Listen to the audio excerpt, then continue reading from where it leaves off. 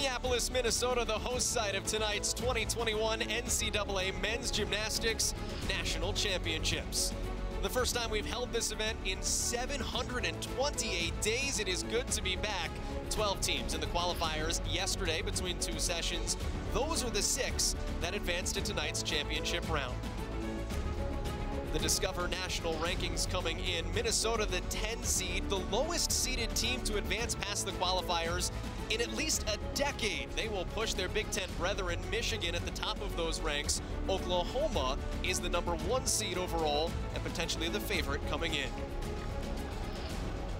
We welcome you to Minneapolis. He is John Roethlisberger, the three-time all-around NCAA champion and the three-time Olympian. Joel Godet and John, you talk to these coaches to a man. They have all been to the Olympics in one capacity or another, but tonight is their favorite meet of the year. This meet is incredible. You're going to have six events going on at one time. It's a six-ring circus. You're going to see the greatest gymnasts on the planet, world-class athletes, future Olympians, and it's not going to be decided until that last gymnast lands. Oklahoma comes in as the number one seed, but maybe not the favorite coming into this. You think that could be Stanford. Why? Well, I think Stanford comes in. They're not the highest ranked team, but they come in with the highest start values. Start values are so important. Head coach Tom Glielmi knows that. He has been training his team all season for this day. No other meet mattered, and if they can hit, they're going to be tough to beat. Mark Williams, he knows how to win championships. He's done it nine times. They are the number one ranked team, but he even admits, he goes, we might need a little help from Stanford to make some mistakes, and we got to be perfect, but they could win. Kurt Golder, he's won championships as well. Michigan is on a roll. They absolutely destroyed the field at the Big Ten championships. Didn't have a great qualification to get in here, but that might just give them the edge. But the Cinderella story, Mike Burns and the Minnesota Golden Gophers, they were not supposed to be in this final. They had an incredible prelims. They made it in. And this is supposed to be the last season of Minnesota men's gymnastics, and what a way to go out if it is being here at the finals. Mike Burns buoyed by an all-arounder yesterday. We'll get to him in a second, but Brody Malone has to be the favorite. He's the defending champ. He's awesome. He's got everything you want to see in a great athlete. He's got the big-time skills. He's consistent. He has got a great chance as well to make the Olympic team this summer. You got to consider him the guy to beat. But Michigan, they've got a couple of studs on their side as well. Cameron Bock, Paul Juda, they were in the battle for the Big Ten Championship a couple weeks ago. They're also going to be in the fight to make an Olympic team this summer. But you know what? He's back in town, and it's Shane Wiskus. And he was at the Olympic Training Center most of the year because of COVID training there, but he came back for the Big Ten Championships, shared the all-around title there, and he looked unbelievable in the qualification round. Minnesota will be on his back they'll only go as far as he takes them. Scored better than an 86 in the qualification round yesterday. You called this a six-ring circus. That may not be enough rings. Six events competed simultaneously. They will go in three pairs of two. If you watched the women's championships earlier on today, the scoring will be much different tonight. It is a lot different. Women's scoring is out of a 10. The men's is out of open-ended. It can go as high as you want, as much difficulty as you want. To get to that score, you start with the, the execution. It starts at a 10.0. All the deductions come out of that 10. Then you add the value of the 10 most difficult skills the athlete does. You put those two totals together, and that is their final score. And it's five up, five count. They can't drop a low score. If you have a miss, you got to count it. Justin Spring in his 11th season as the head coach at Illinois, former Olympian back in 2008, leading the Illini in. They were the eighth seed coming in yesterday. Victorious out of the first session. Chuck Chmelka never made it to the Olympics, and John, we talked about it off the top. 1979, winning the NCAA's his most incredible memory. And he knows how to win championships. He's been on many championship teams as an athlete, and it's been a slow build for Chuck Chmelka and the Nebraska Cornhuskers to get their team to where they are today to be a contender for a national championship. They beat Oklahoma in their qualification session. That was big. Hit in all 30 of their routines. Now we talk about six teams that are competing, and then we show you Penn State. Jack Baldwin qualifying in as an individual. The top three individuals that competed in the qualifiers yesterday, whose teams did not advance, will all appear here tonight as well.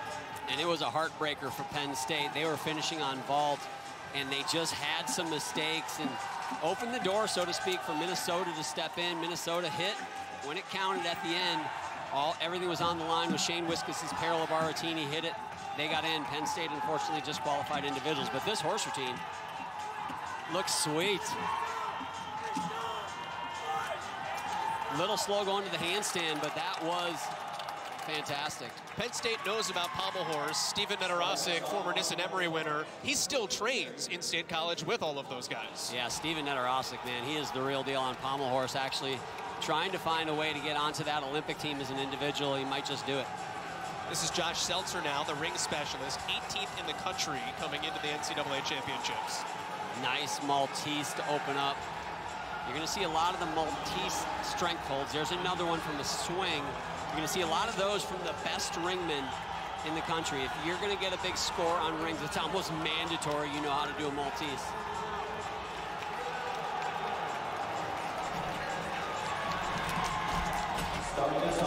Season high is a 13-8 on the rings. Look at back uprise. Looked like he was going to try to hold the legs together plunge, but did not. Nonetheless, it should be a major break.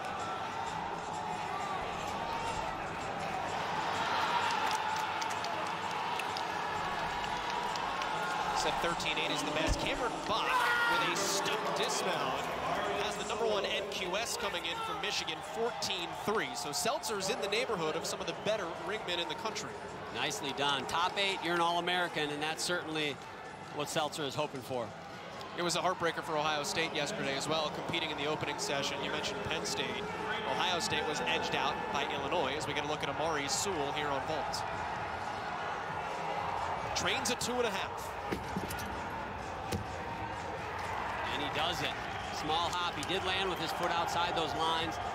Bit of a heartbreak for Iowa yesterday, too. A lot of people thought in that last session it would be Iowa-Penn State battling for that third spot. They forgot about Minnesota, but a heartbreaking season for Iowa, along with Minnesota, scheduled to discontinue their program after this season as well. So hoping for some good individual performances from the Hawkeyes.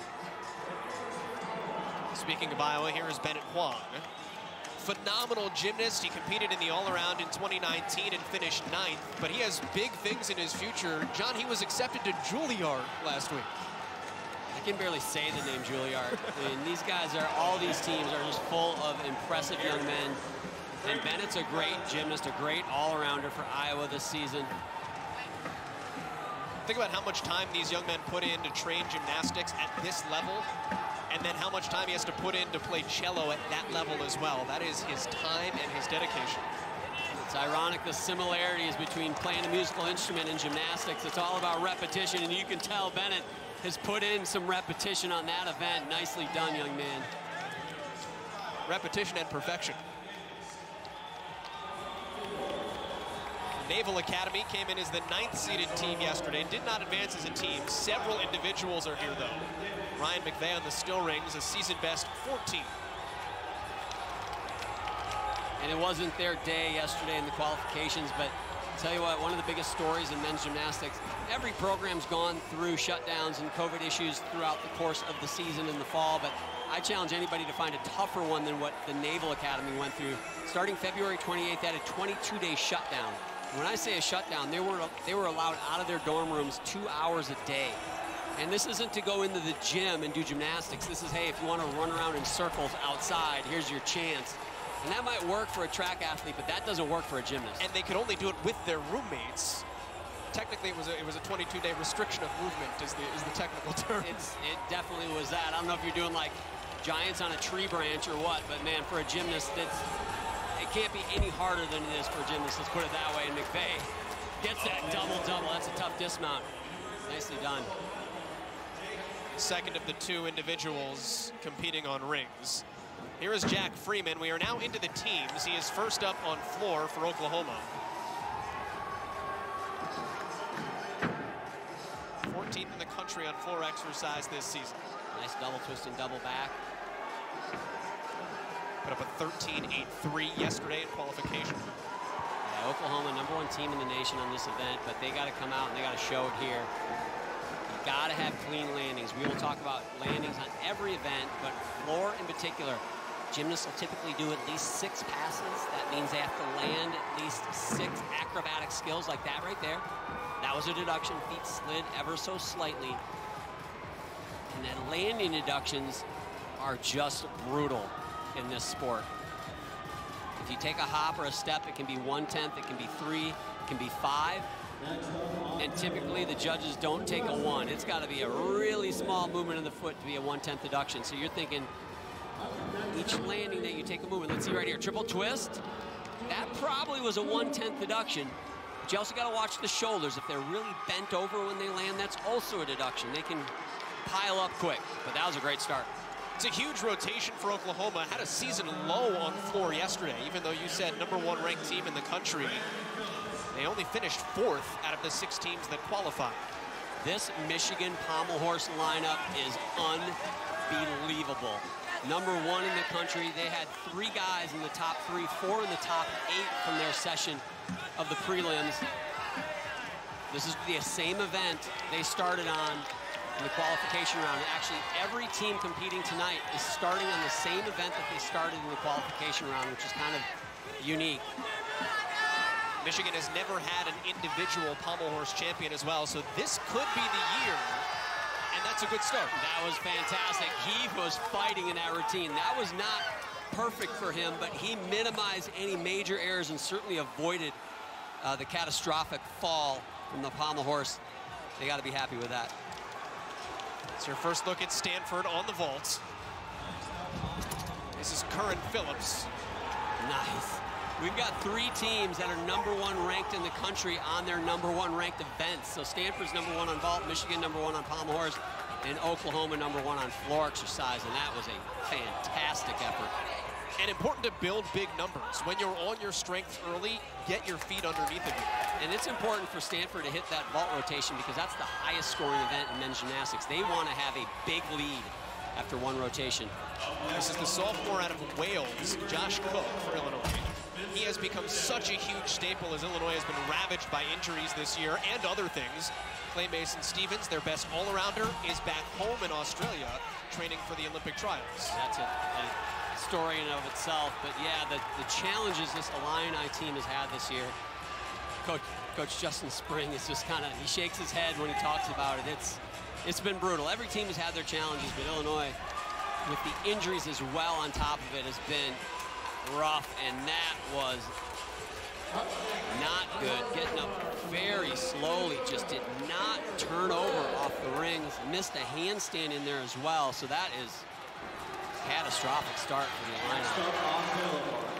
First look at Minnesota. This is Victor Perez. His head coach calls him Victory Perez. Well, they need to be perfect. As we said, Minnesota, big underdog, even just to make it in here. It would be a huge accomplishment for them to be as high as fifth, I would, I would say, but bottom line is they just need to do their best gymnastics. There's no defense in this sport. You just got to go out and hit your stuff. And this routine so far, three Tkachevs, a variety of different Tkachevs done there. Will be big time for Minnesota. If you stick it, it's an extra bonus 10th. There's one. Green flags up. That's the start on an apparatus that most teams don't want to start on. Absolutely not. I hated starting on high bar as a gymnast. Your nerves are at their, you know, their pinnacle and you got to go up and you got to live on the edge, and that is what high bar is all about. But they came out in the qualification round, and they were outstanding on, the, on that event, trying to replicate it again. Brandon Wynn here on the vault, the freshman for Stanford. Man alive, that's just so good. Their leadoff at a 14-7-3-3. That is a massive vault score, and that, that's going to be a big number as well. Marcus Shears after a couple of 13s here for Michigan. 13s are good scores on pommel horse. Those are very good scores, especially for your first couple guys up. Now Marcus is capable of a 14. He has broken that this season. 12th in the country here. It's going to take epic performance on pommel horse today to break a 14, and that is not going to do it. So he's got a, he's got 30 seconds to get back up on the apparatus. He kind of looked just like his circle wasn't quite comfortable throughout that routine, and you really want to get a rhythm on pommel horse, and certainly he broke it there. Now, it's important. This score is going to count to their team score, so it's so important. He gets up and finishes clean. You can't let one mistake lead to another.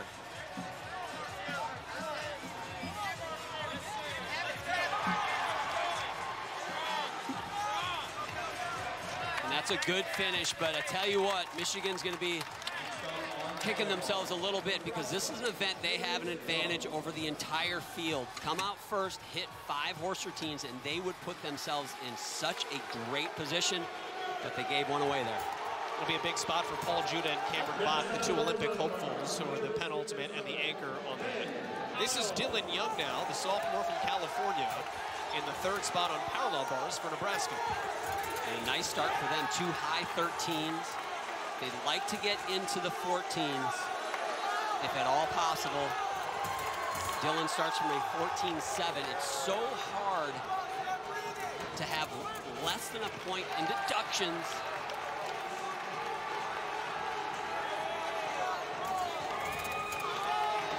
By score, this is Nebraska's second lowest event. They're seventh in the country on parallel bars, but their coach Chuck Chmelka said, hey, we're good. We're darn good. Just haven't put it together yet. That was a good routine. He had some difficulty in there, and he likes it. This is the all-around champion defending Brody Malone. Here we go. This kid trying to get another NCAA championship and a team title. It's weird. It's weird to say back-to-back -back titles when it's been two years, but it would be. Back to the horse. We mentioned Paul Juda. Here he is, the sophomore from the Chicagoland area. He is second in the country. A season high 14-3-5 here. Watch this work right here. Flare up to the handstand, back down. That is ridiculous. Are you you see people do that on floor, but obviously you have such a bigger margin for error on floor. This is sweet gymnastics. And the style that he uses here minimizes the risk for deduction traveling the horse. It does. It, it helps with that skew. And skew is when you're kind of not square to the length of the horse. And that is just magnificent. I've got pommel horse envy from that guy. Those are all skills I tried to do when I was a gymnast and it wasn't going to happen. That's awesome. Man, that was a pressure situation as well. Michigan hasn't had a pommel horse champion throw down the early gauntlet here as we go back to floor in Oklahoma. Oklahoma is crushing this floor rotation, and they've got a couple big routines to finish. All scores into the 14s. Morgan's an amazing story. Had meningitis as, a, as an infant, did not think that he would survive, lost, had a stroke during that whole process and lost the use of part of his body, had to relearn how to use a whole half of his body. And it's been a it's been a challenging road from the time he was an infant, but man, what a story and to be a gymnast after all that, probably the sport that requires the most most physically demanding sport, one of them, is, is just amazing. He is the floor champion at his conference, the MPSF. Went 14-1-3 yesterday in qualifying, and it's not always the most natural, Mark Williams said, but he does his darndest to make it look that way. And you like to see that. Look out, Oklahoma. They are coming out of the gate strong, stuck landing at the end. Bonus 10. This is now the rotation to watch here for Minnesota and the particular routine because Dante McKinney, Mike Burns said, was the spark routine in their season high on high bar last night. Yeah, he was amazing, and he can fly. Just floats 15 feet in the air over a stationary steel bar. Come on, you gotta be kidding me. Don't tempt me with a good time. that is just awesome. And this is just a carbon copy of his performance in the preliminaries. Got one stuck landing in this rotation. Can it be two? Not quite. Hop forward, that's probably a 3-10th hop. And it's funny, you can tell by the body language they want to stick those landings, but that was great nonetheless. Now we saw what Paul Juda did. It is scored a 13-8. Cameron Bock, what say you? They need a big one. I actually thought Paul Juda's score should have been a little higher than a 13-8. It felt like a 14 to me, but that, oh my goodness. A major break, but he stayed on and he actually covered it up pretty well. Turned it into a scissor. He did. It will be a significant deduction. His leg bent and hit the horse, but, and he'll lose some difficulty. But I'll tell you what, only a veteran can do what Cameron Bock is doing right now. And I'll tell you what, you can't win a national title on the first event, but moments like that avoiding catastrophe for Michigan could pay dividends and mean the difference when you get to the end. he's the Big Ten champion. He's number one in the country for a reason. As we take a look now at Gage Dyer, who's coming back from an injury, missed six weeks earlier this season with a muscle injury to his lat, where he worked some routines so that he doesn't have to use his arms as much. There's no back handspringing in this floor routine. And John, it would knock most gymnasts out. That pass he just did, the double twisting, double layout.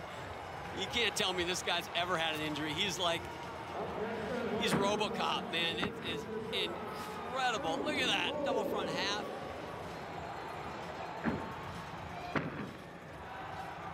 I will be very interested to see Stanford's vault score compared to Oklahoma's floor score because you should absolutely have a lead after vault if you're Stanford, but the floor routines that Oklahoma has done in this first rotation are sick. The scores, the last one, Morgan Seiler, a 14-6, and Gage Dyer with this routine capable of even more, starts from a 16-1. Can he stick it? Ah, oh, you gotta be kidding me! The specialist of the year! Again from Michigan on horse with Cameron Bock with that save. This floor rotation for Oklahoma. When you get to the finish line, it's moments like that could mean the difference. They're nine-tenths back of Stanford between floor and vault right now. That is, that is not good for Stanford, I'll tell you that right now. There's Brandon Briones now on the vault. Oh, that was so good, man. Heavyweights, just body blow after body blow. Wow, this is going to be awesome. The reigning National Freshman of the Year, Briones there. We now go to the best name in all of collegiate sports. This is Crew Bold on the high bar. With Minnesota discontinuing the program, Crew Bold will go to Michigan next year. Last chance to wear the Gophers Leo. And Bold is exactly what you need to be on this event with skills like that. Oh my goodness. He scrambled some eggs on the last part of that to get his hands on. Woo! Oh, nice combination right there. That's the thing about high bar is you want to be an arm's length away. You don't want to catch with bent arms, but the margin for error is literally a matter of inches to get your hands perfectly on the bar, and he has done it so far. They've got to stick some landings. They cannot afford to take any steps. And he does it, man. Minnesota keeping the magic alive. Four routines in, a 52-699 and building for Minnesota as we take a look at the anchor, Zach Martin here for Stanford, needing a big vault. Look at these scores. These are unbelievable. Can they finish with an exclamation point? Oh! yeah. Unreal. I might have to break out the toothpick and a club sandwich early tonight. This is incredible. Zach Martin is the second best vaulter in the country. It's the only event he has done every meet. That right there is 100% why. That was amazing. He'll actually start from a 15-3 because he's stuck and he gets the bonus 10th. I mean, if there's a 15 to be had in this competition, it should be right there. Now Shane Wiskus onto the high bar. He maybe your favorite outside Brody Malone for the all-around title? Yeah, and you know, he, he might be my outright favorite. I don't want to play favorites, but he's uh, he has looked so poised and, you know, coming in late in the season. He went to the training center because he was worried about his training being interrupted. Not a lot different than, honestly, some of the Stanford athletes as well. Stayed away from campus until they got uh, closer to the end of the season, and uh, that's exactly what he did. Take a look at your State Farm State of Success. Those are the two young men that tied for the all-around championship at the Big Ten Championships two weeks ago as Wiskus now mounts the high bar. He was the all-around runner-up last time to Brody Malone in 2019. He is this year's Nissen Emery Award winner. And John, that's basically the Heisman Trophy of men's gymnastics. Big moment right there. The man competed one regular season meet. That's his reputation. Two big releases. Keep in mind, obviously Minnesota, they want to put 30 routines together tonight, 30 hit routines. But this man right here wants nothing more than to win a national all-around championship, and especially in this year the challenges facing all these collegiate programs, he would love nothing more to bring that glory home to the University of Minnesota. Has not happened here since 1983. Some guy named John Roethlisberger. Oh, baby! And that is the thing about Shane that has just been a big change over the last couple of years. He just goes up. It doesn't look hard for him. The greatest gymnasts in the world, they do the hardest stuff, and they make it look like it's just a day at the office. I'll tell you what, that was not a day at the office. That was big-time gymnastics. Danny Graham now on the still rings, seventh best in the country on this apparatus. He was eighth at the Big Ten Championships. There's one of those Maltesers you pointed out earlier. Did you just age me, by the way? You said 1983? I'm sorry, 1998. 93. I'm old, but I'm not that old. Did I say 83? You did. That's all right. I, I look older than I am. Thanks, buddy. Danny Graham kind of stepping into those shoes that Illinois always seems to have. A great ringman, Alex Diab, NCAA champion for them. Nicely done. Yamawaki right to a back uprise cross. Man, see those arms working. That shoulder position so important. Yeah, you got to be flat. You got to keep those shoulders in a level line with the ring. He was almost a little bit low on that cross position, to be honest with you. Illinois has not had a great ring rotation. They really need a big one here, and that includes a stuck landing. Focusing double. Oh, he takes that step, but other than that, that was a pretty darn good set. And back to Minnesota. This will not count toward the team score, but this is Mike Moran competing individually in the all-around. Great opportunity for some of these athletes who don't make that five-person lineup. They can still be added to the rotation, compete in the all-around, have an opportunity to become an All-American. Mike has been the rock for Minnesota this year. With Shane Wiskus at the Olympic Training Center, he has stepped up as the all-arounder, took some off of his plate as the season went on, but he looked at his coach, Dan, uh, Mike Burns, and said, hey, if I'm going to do four events, I may as well do six. And you need that, especially this year. You need to have guys that do a lot of events. Shuffle those heels a little bit there at the end, but uh, got through it. Nice job, Mike. That is rotation one in the books. Catch your breath for a second if you get the feel for how things might go tonight. Woo! We have rotation number two coming your way from Minneapolis in just a jiff.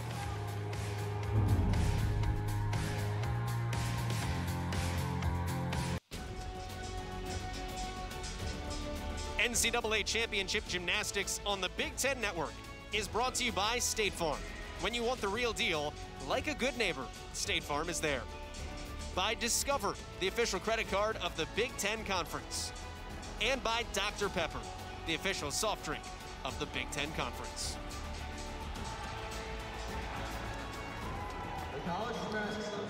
Minneapolis, Minnesota, we take a look at the scores after one rotation.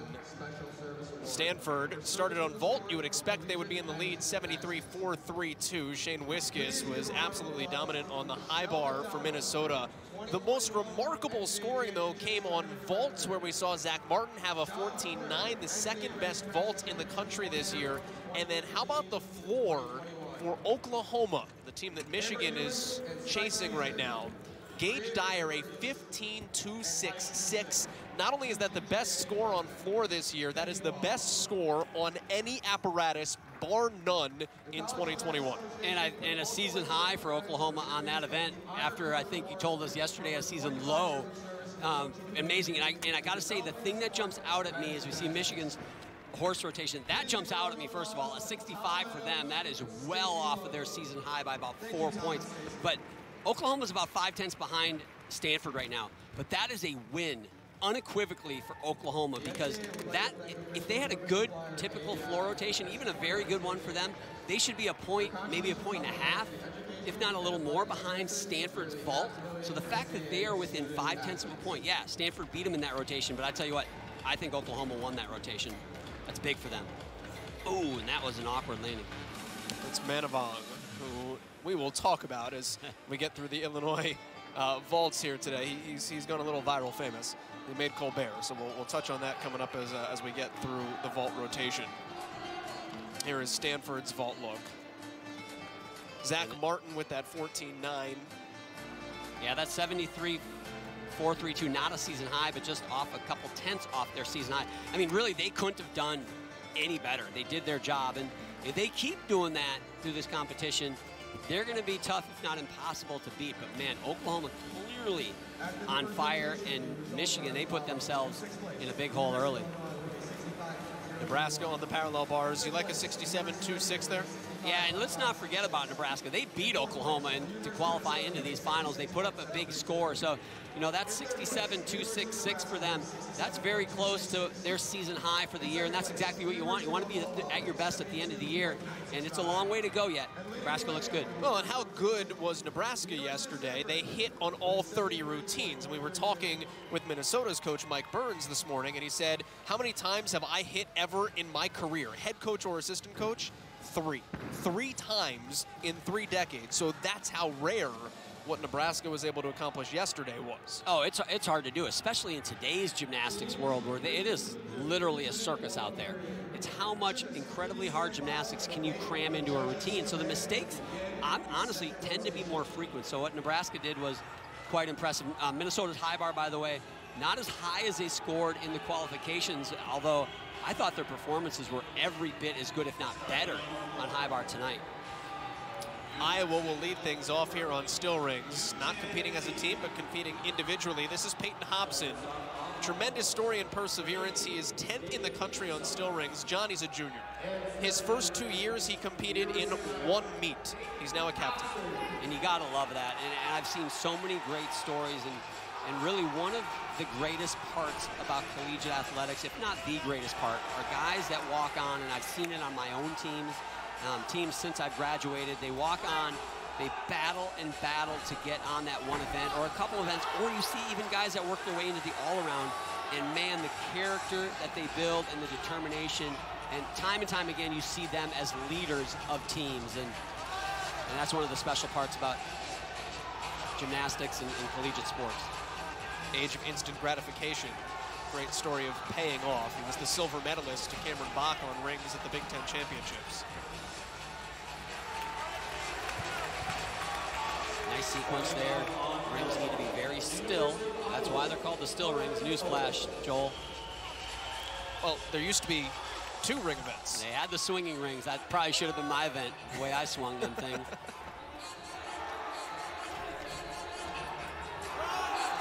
Dude, I love. You know, the lost art of a great swing to handstand. That's as good as you can do it. Perfect toe point, nice handstand position. Oh, come on, baby. Just can't stay on his feet. That's a tough landing. You're landing forward. If you're under rotated, there's just very little you can do about it. Go to the high bar.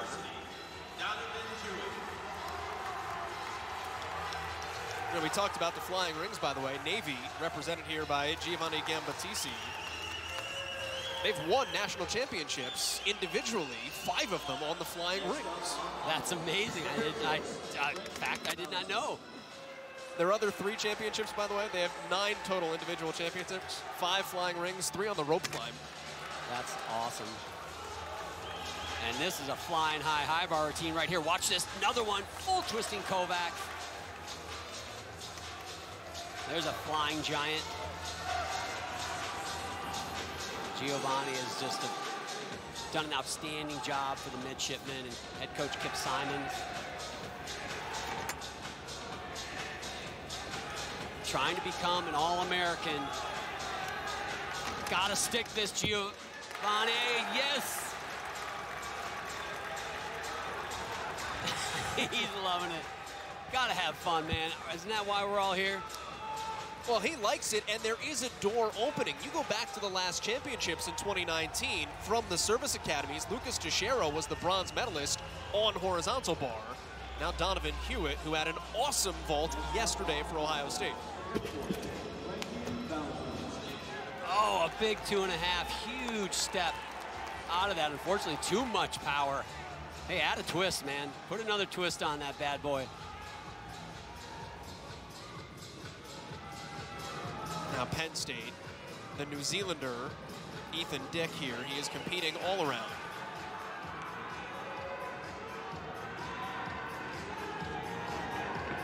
He's a freshman from Auckland. Keeps himself in balance. Twelve six on his first event, the high bar. Very low scoring event though.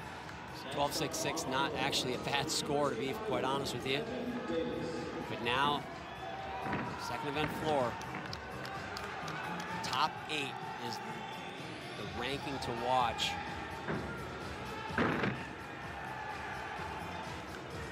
Ethan's progression has been incredible. He joined the team in January coming from New Zealand, so they've just really gotten their hands on him, Randy Jepson and his coaching staff. And he hadn't been an all-arounder until just recently. Did floor for the first time at the Big Ten Championships, still rings for the first time yesterday. Yeah, there's a lot of international athletes on different collegiate teams, men's and women's side, and that has created a whole nother level of challenges here in a COVID world that we live in traveling back and forth to your home country. If you're trying to make an Olympic team, that, that totally comes into play, as we've seen with Clay Mason Stephens from Illinois. Nice triple twist. Giving away some steps there at the end. That was a nice triple twist, but he didn't want to stop moving his right foot. Well, you mentioned the quarantine. Ethan Dick will have to quarantine when he goes back to New Zealand for two weeks in a hotel room before his Olympic trials. That is, that is brutal. Alan Camillus now on the pommel horse. This is the first of the teams competing here in the second rotation. And this is where the rubber hits the road for Oklahoma. Mark Williams said this is not a great event for them. It did not go great in the qualifying round. They saw Michigan, the best team in the country, have mistakes on this event. And that's a fantastic start. Not a huge start value, only a 14-6. But man, he hit it clean. He did exactly the job that he was meant to do. Go up there, hit a solid set, get one under your belt, and start to build. This is an all-around competitor individually, Ryan McVeigh from the U.S. Naval Academy.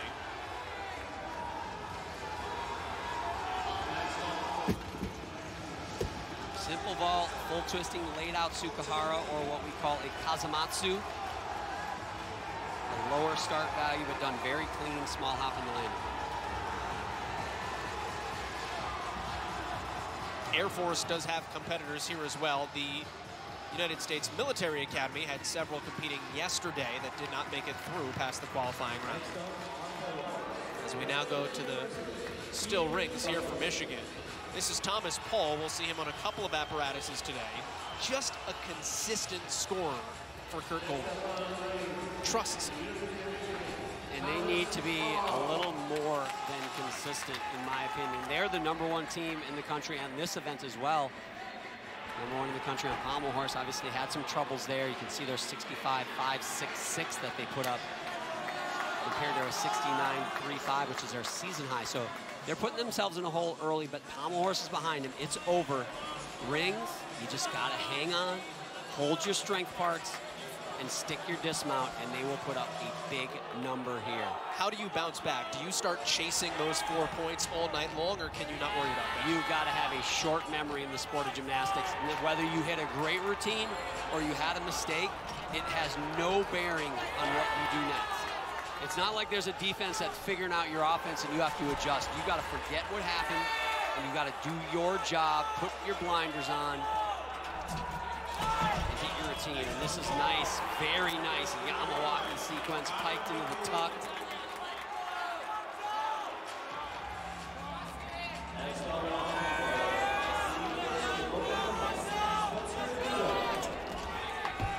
Very tough dismount. Oh, the Wolverines, they forgot about Pommel Horse. What? Pommel Horse, we're on ring. Well, they are the number one ring team in the country. So you follow your number one horse team in the country that struggled. You go to another strength as we get Stanford, number one team in this competition by start value. This is Ian Gunther, the junior in the leadoff spot. And they're the number one ranked team in the country on parallel bars.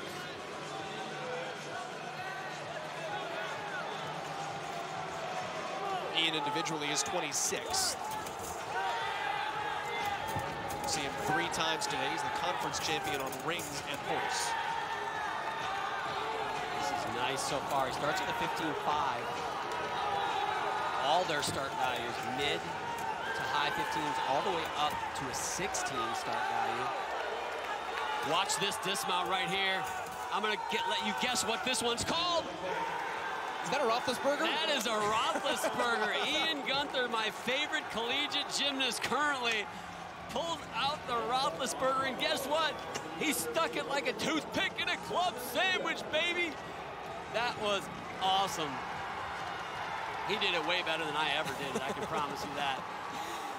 Onto the vault for Illinois. This is Connor McCool. Undeniable what Justin Spring calls him. Nice double twist. Illinois started slow on the rings.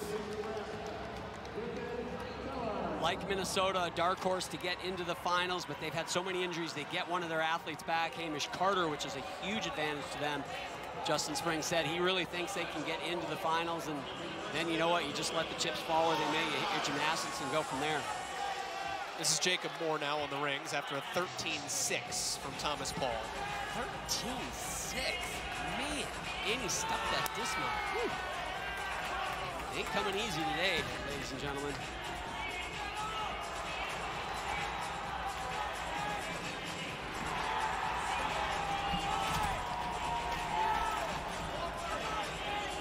Oh, he picked up some swing on that. Hard to tell how much because of the angle we're at. It almost looks like a horizontal swing. Yeah, he's got a little bit of a side to side and front to back. What would that be called? An ellipse? An eclipse? I failed geometry. Help me out here. I think so. It's like the penny at the wishing well. you. Uh, where it spins around. He's got a tough dismount. It's a double twisting, double back. Gyroscope. There you go. Big risk on this. Nicely done. Just a small hop on the landing. They know it's a long way to go. They started on horse. Every other team's got to go to horse too, and that's where bad things can happen. Speaking of which, head to Oklahoma on the pommel horse. This is Morgan Seiler. And bad things have happened. They have an 11-6-6 from Spencer Goodell, who just went. They started off with a nice 13, but gave some of that back. Michigan knows how that works. Well, that's the one weak spot in Spencer's all-around game. And this becomes a huge spot for Morgan Seiler to pick it back up after a missed routine.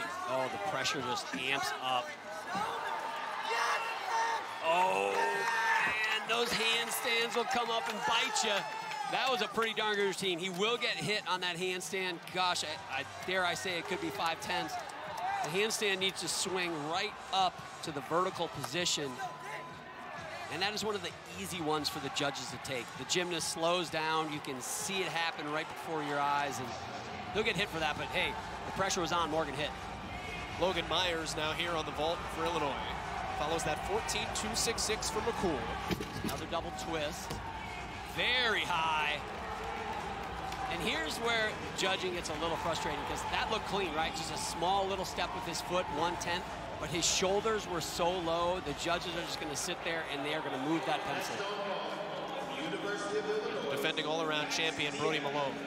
He could become the first ever all-around champion in his first two collegiate championships. As a freshman and a junior, of course, there was no championship as a sophomore.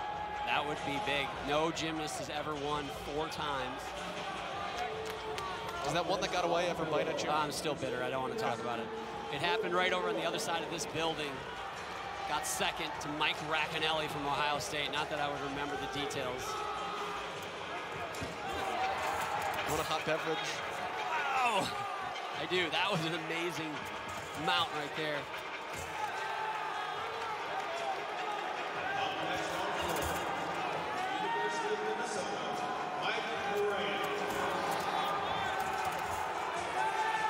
Brody was not just the all-around champion, he was also the floor and high bar champion.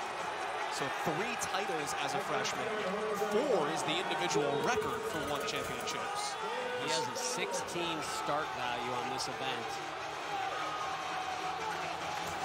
And he has done a pretty darn perfect routine so far.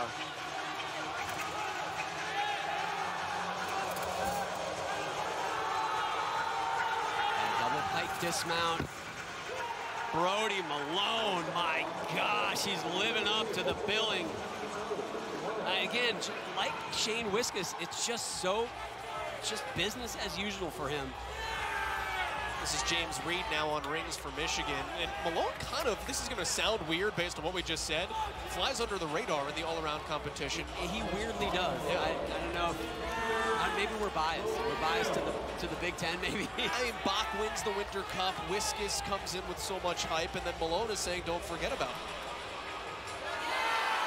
Well, we're certainly not. James Reed is third on still rings in the country. He came in ninth, though, at the Big Tens.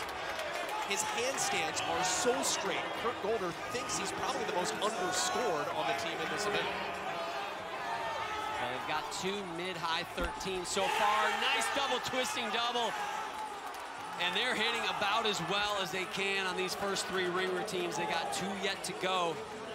Juda and Bock, two of the best in the business. So Michigan clearly, rings is a great event to get things right too. You hold on, not easy to come off of the rings.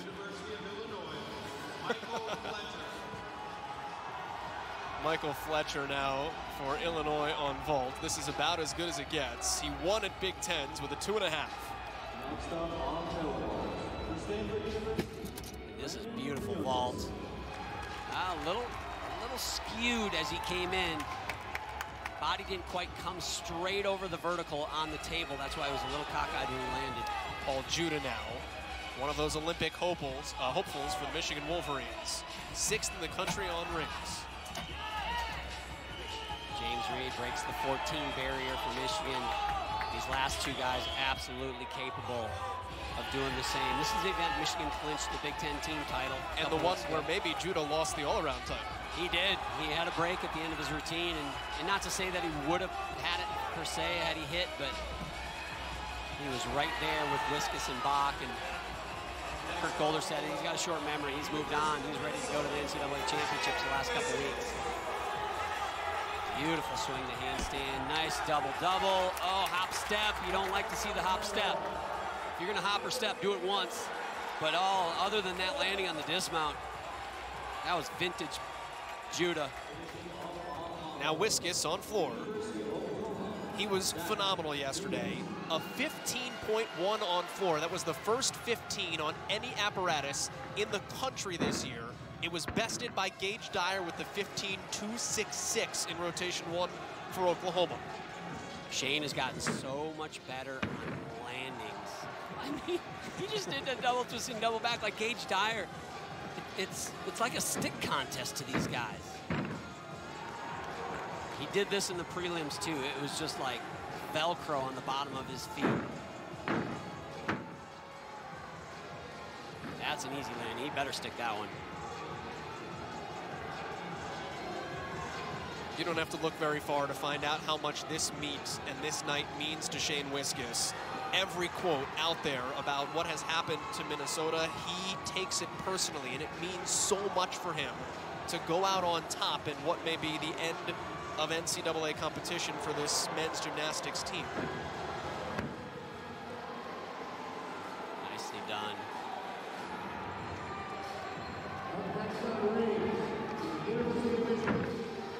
Triple twist, and he does it again. It's just automatic for Wiskus. He is pumped, inspiring his team. A nice floor rotation from Minnesota, too. They improved upon their day one performance, and they put an exclamation point. I don't know if that'll be another 15, but golly, there was one hop on a landing. I'm not sure what else he'd take. Now Cameron Bock, number one on rings. Michigan has never had a ringman finish on top of the podium. Could it be Bock?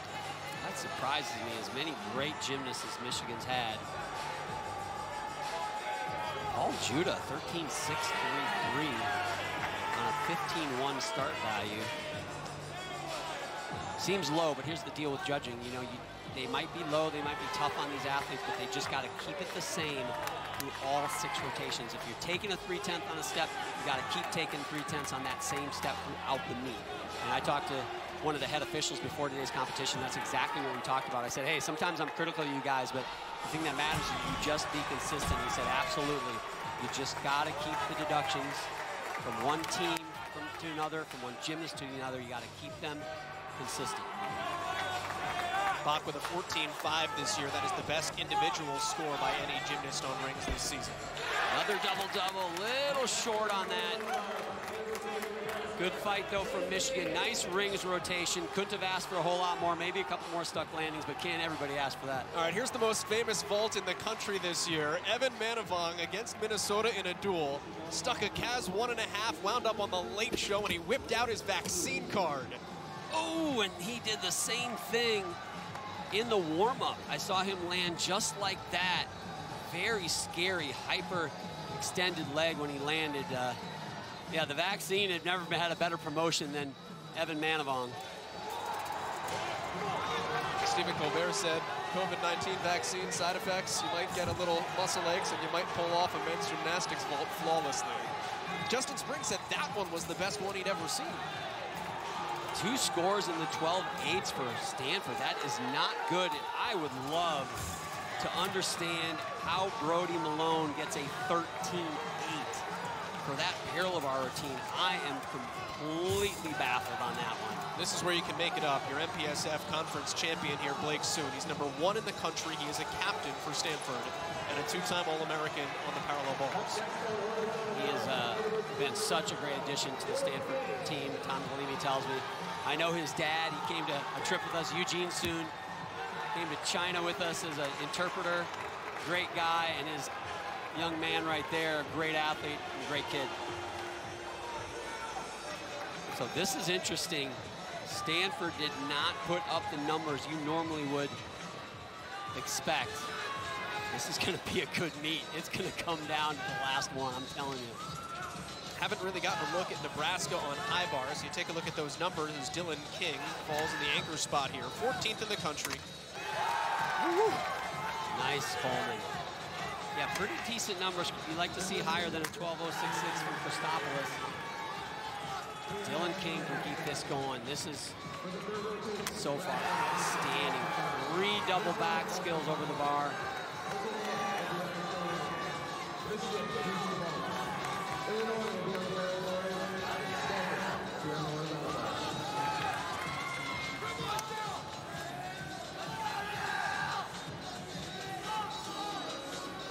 Nebraska hit 30 for 30 yesterday, trying to do it again today.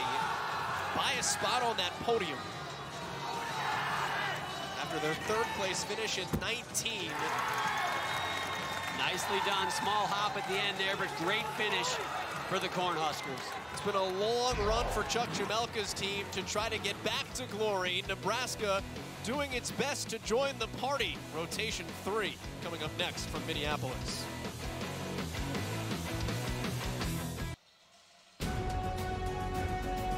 Tomorrow, a champion will be crowned in the 2021 Big Ten Women's Soccer Tournament. Iowa takes on Wisconsin. Live coverage begins tomorrow at noon Eastern. That is only on the Big Ten Network and the Fox Sports app. Spring Sports Extravaganza leads to an extravaganza of trophies. John Roethlisberger, we heard the NCAA Men's Gymnastics National Championship. Also today, the Women's Gymnastics National Championship and it belongs to the Michigan Wolverines for the first time. Yeah, I got a chance to cover them at the regionals.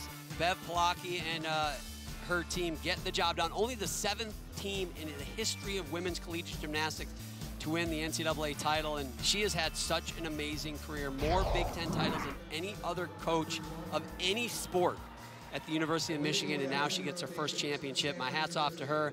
And also Scott Sherman, who used to coach here at Minnesota hats off to him as well and, and that team. What a great accomplishment. Stacey Ervin sighting, by the way, right in the middle there. there in the go. white shirt for the Michigan Wolverines, made the trek up here from Florida. After the second rotation, you saw the scores at the bottom. These are the all-around scores. Shane Wiskus atop. You're not happy with Brody Malone. You thought he should be better. No, honestly. I mean, I, the scoring. You're this, happy with this, him. No, I thought his performance on parallel bars was outstanding. He got a 13-8. I'm not sure how you get a 14 if that was a 13-8.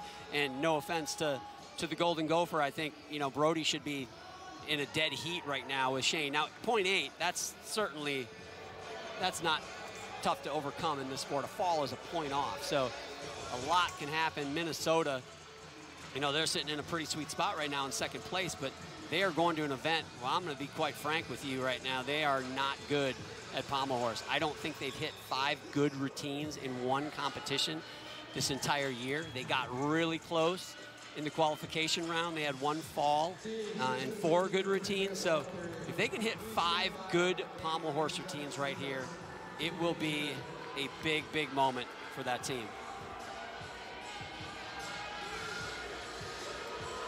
We'll start with the individuals here in rotation number three. With Christian Marsh from William & Mary, he has freakish strength, so it'll be interesting to see what he pulls out of the bag of tricks here. Six consecutive state championships in club, coming to college from Clarksburg, Maryland. He was also a diver. I don't know how that translates to still rings, but I have to imagine like shoulder strength pretty good. Slip a little on his knees. That's big time gymnastics right there. I tell you what, man, he is a mile in the air and you're flipping your body over three times. Gives me cold sweats just thinking about it. The thing about that, you don't pull that out if you can't do it. So you know what he's capable of and what he's going to go back to in the gym. Absolutely. Yurchenko double twist, real short on that landing, actually stepped right under the edge of that vault table. Did Caleb Booth, and that was unfortunate, but good that he stayed on his feet. Transfer from UIC, he departed the Flames after they cut their program. Talked about that with William & Mary being reinstated. Actually, Randy Jepson and he have a really good connection because that's how his head coach wound up at Penn State when Oregon dissolved their men's gymnastics program. High bar now, more Penn State. This is Alex Frack, senior out of Nazareth. Home of the Andretti's, by the way. Good to know.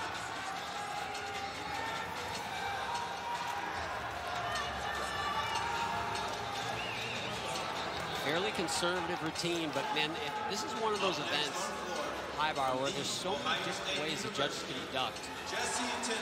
Sometimes you just, you want to play it safe. Skills like that, the stoop to handstand that needs to finish right in a vertical position.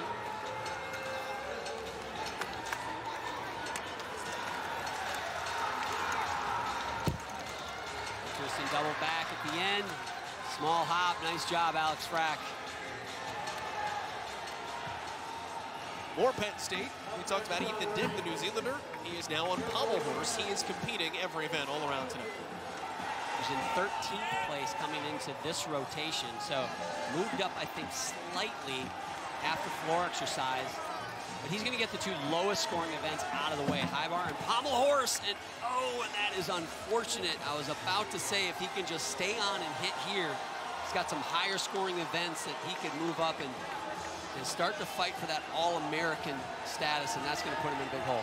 Pommel horse has been difficult all around, though. That's This is not a unique situation tonight. Oh, pommel horses, I mean, I can't tell you how many times I wanted to take a chainsaw, cut it up into small pieces, and start a campfire with that thing. It is just, the pommel horse is going to win. Eventually, you know, you might have your moments, you might stay on and hit a big routine, and it, it, it's like Mother Nature. At the end of the day, Mother Nature is in charge. Well, pommel horse is the Mother Nature of men's gymnastics. It just it owns you. And you just want to have those moments where you feel like you got a victory, but that was an unfortunate one. First time we'll get a look at the Air Force Academy. This is Frankie Valentine. He is competing all around. And I'm loving the uniforms. They win the coolest uniform award in my book. It's not the Top Gun logo, but they had like the Top Gun logo on their chests yesterday competing in the qualifiers. Hey, you go to the Air Force Academy, you earn it. You can put the Top Gun logo on your chest. These military academies, I have so much respect for what they do, not just gymnastically, the, the rigors of going to, to Army at West Point or to Naval Academy or Air Force. It is, it is from morning till night an amazing challenge, and these are some just awesome individuals. This is their escape. Like for everyone else, this is the hardest part of their day. Yeah. For these guys, this is the easy thing. exactly. Nice double-double at the end there. Onto the team scores here. You have talked about this needing to be a big rotation. The handstand starts early for Noah Duran. There's a required movement, usually in the dismount on pommel horse. Minnesota needs to be huge. They knew if they can hit five good routines here, it'll be the first time they've done it this season. It's just, it's a tough event, and they have struggled for a variety of reasons. Lost some of their depth, but this is really good so far. Nice swing, keep it, keeping it steady, and there you go. That's that's it in a nutshell, man. That is Pommel Horse. He looked great, honestly. Two circles before that, I would have said he, he looks fantastic. Now he's not going to get the value of that skill he fell on. Hop over to Bennett Huang here, vaulting all around as an individual.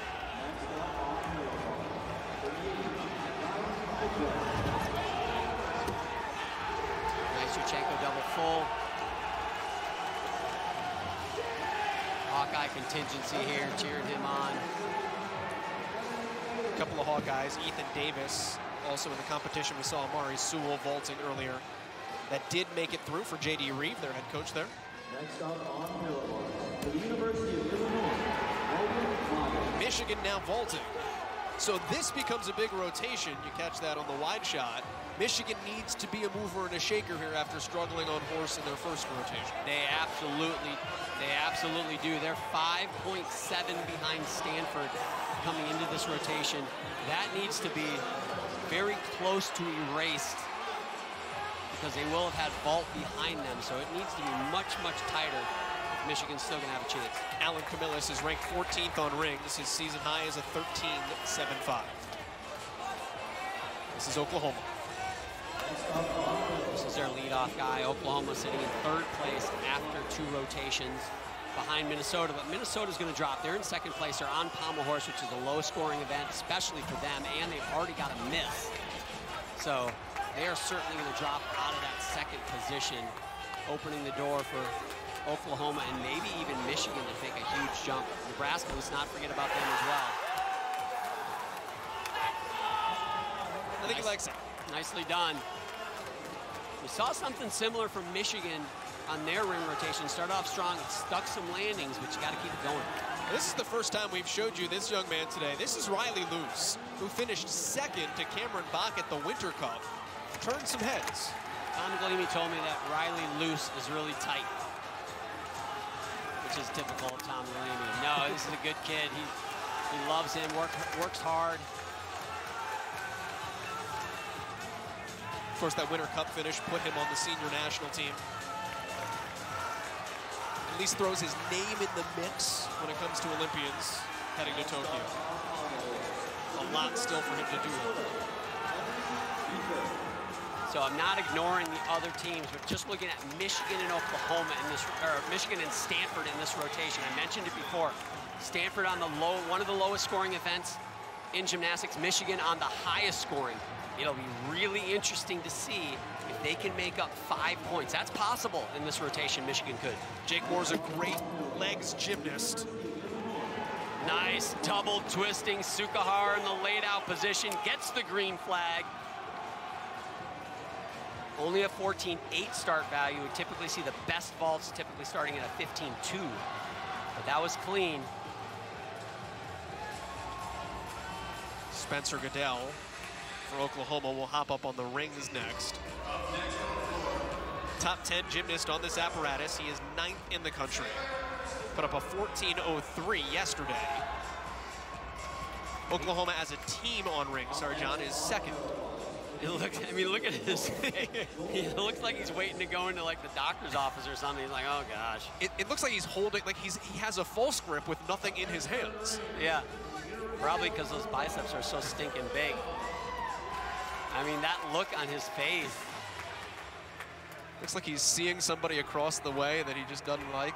If I'm the rings looking back at him right now, I think I'm shaking a little bit, wondering what his guy is about to do to me. He has his angry eyes. He does. I love it. His focus. And I tell you what, I hate this as a gymnast. It's always one of those things right. that you, you got to stay calm. You're waiting for the judges. And you got that mental rehearsal you do leading up to your routine, and they interrupt it, and it, it can be challenging. 14.03 by Alan Camillus. That's actually the best score on rings for anybody so far tonight. It ties James Reed and Cameron Bock from Michigan, but that's in the leadoff spot that for is, Oklahoma. That is big. Oklahoma is 4.422 behind Stanford coming into this rotation. So, you know, again, Stanford on high bar, Michigan and Oklahoma can make a move. Minnesota's not going to make a move. Illinois, I, you know, it's hard for me to see them making that jump as well. So that's why we're kind of looking at those two teams right now. Obviously, a lot of gymnastics to go.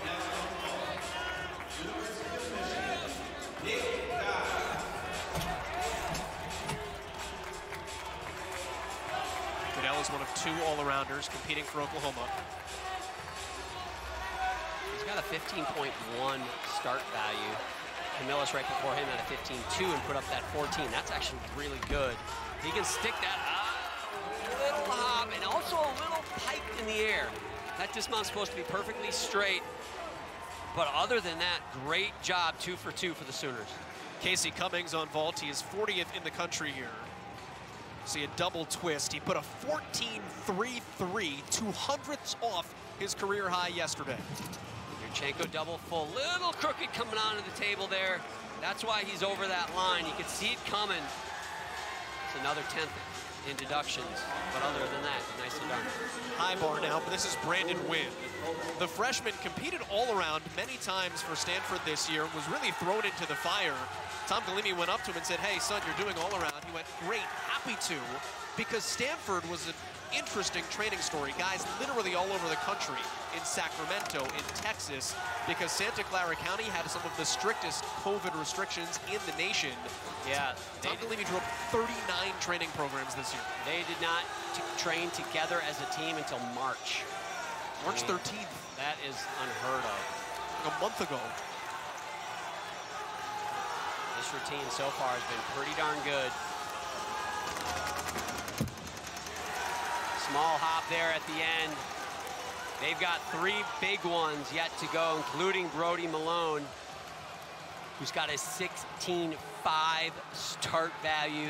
They got a 15-3 start value yet coming up, as well as a 15-0 start value. So they've got some big guns yet to go, but got to hit. In Oklahoma, Michigan, they're coming.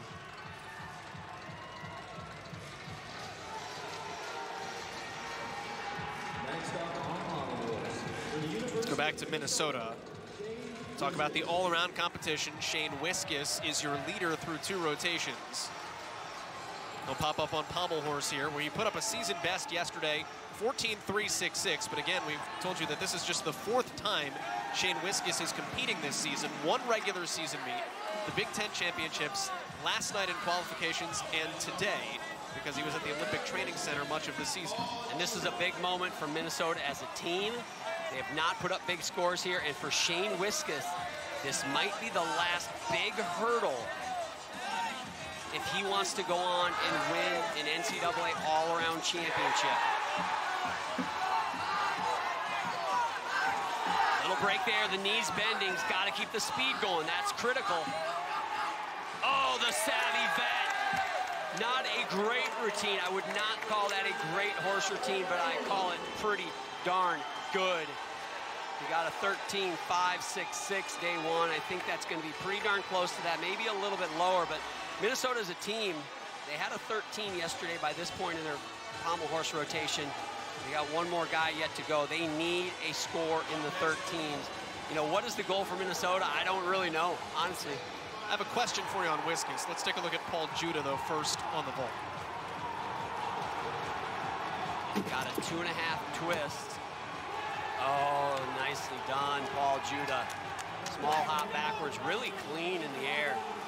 A lot of guys put their feet coming on, but that was pretty nice. What does it say to you that Shane Wiskus wins the Nissen Emery this year, the best senior gymnast, the Heisman Trophy of men's gymnastics? He only competed four times. His reputation is huge. It is, and I think it's a it's it's a career it's a career award, and uh, he certainly has earned that. And it goes to obviously a senior gymnast, and and I think he's very worthy. Here's Morgan Seiler now, a junior gymnast from Flower Mound, Texas, on the still rings.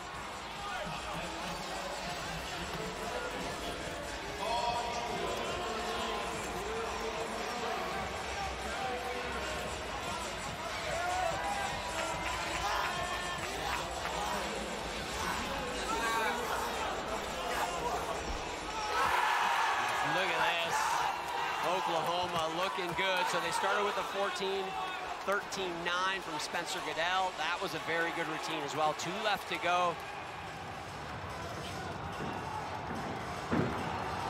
Jake Benet now, last to go here on floor. That is a 13-9 for Morgan Seiler for Oklahoma as well. Nebraska's floor rotation started out with a 14-2-6-6, then a 14-2-3-3, and then a couple scores in the high 13s.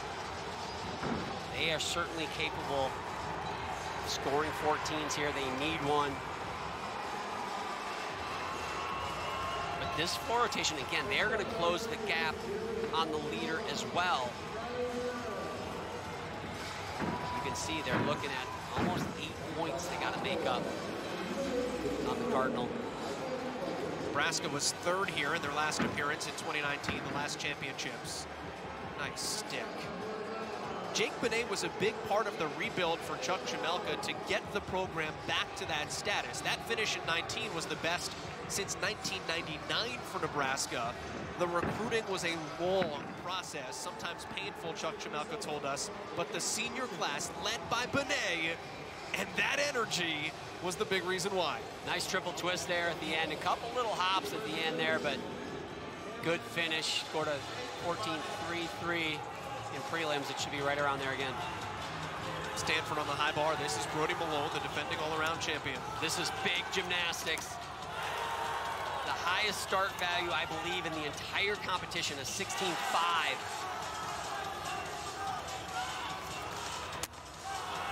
High flying.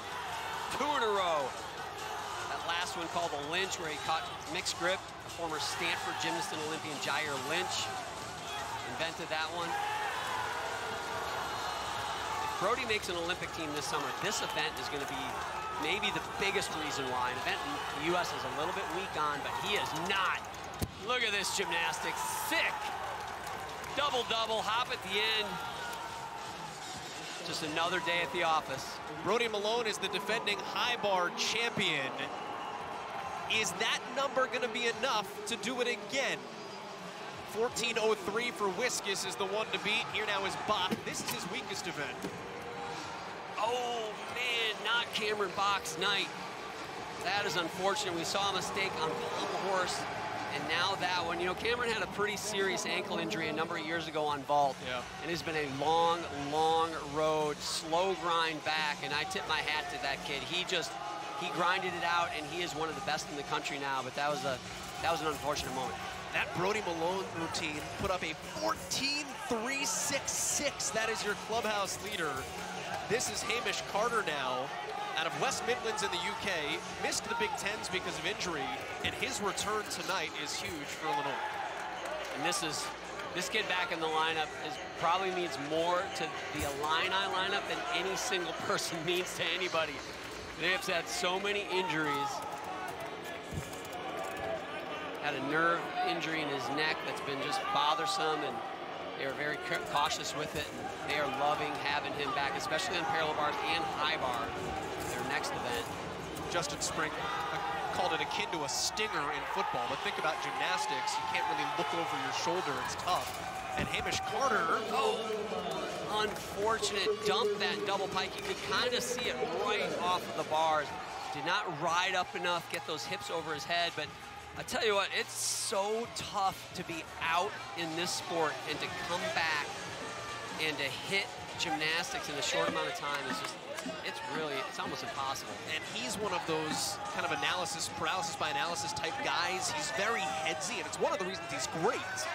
But it's hard, like you said, to jump back in. Here now is David Pachinka in the anchor spot from Minnesota. They need one here. They need it bad. Man, I love his swing, though. Kind of got those skinny, long legs that look great on Pommel Horse, and wow, did they need a hit right there. That was big. Shane Wiskus a 13-4. Just on a side note, Brody Malone beats Shane in this rotation by almost a point. He will have the lead in the all-around. By one-tenth of a point. Brody Malone has overtaken Shane Wiskus for the all-around. We'll update you on the team scoring when we come on back for rotation four in a moment.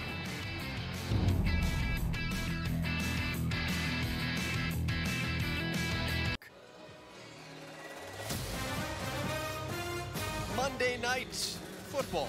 It's your first chance to see how the Fighting Illini look under new head coach Bret Bielema. Live coverage of Illinois spring football. It kicks off Monday night at 8 p.m. Eastern on the Big Ten Network and the Fox Sports app. Men's Gymnastics National Championships here from Minneapolis. Six teams qualifying, Illinois among them. Take a look at the all-around story. Brody Malone, though, the defending champion, and he is defending.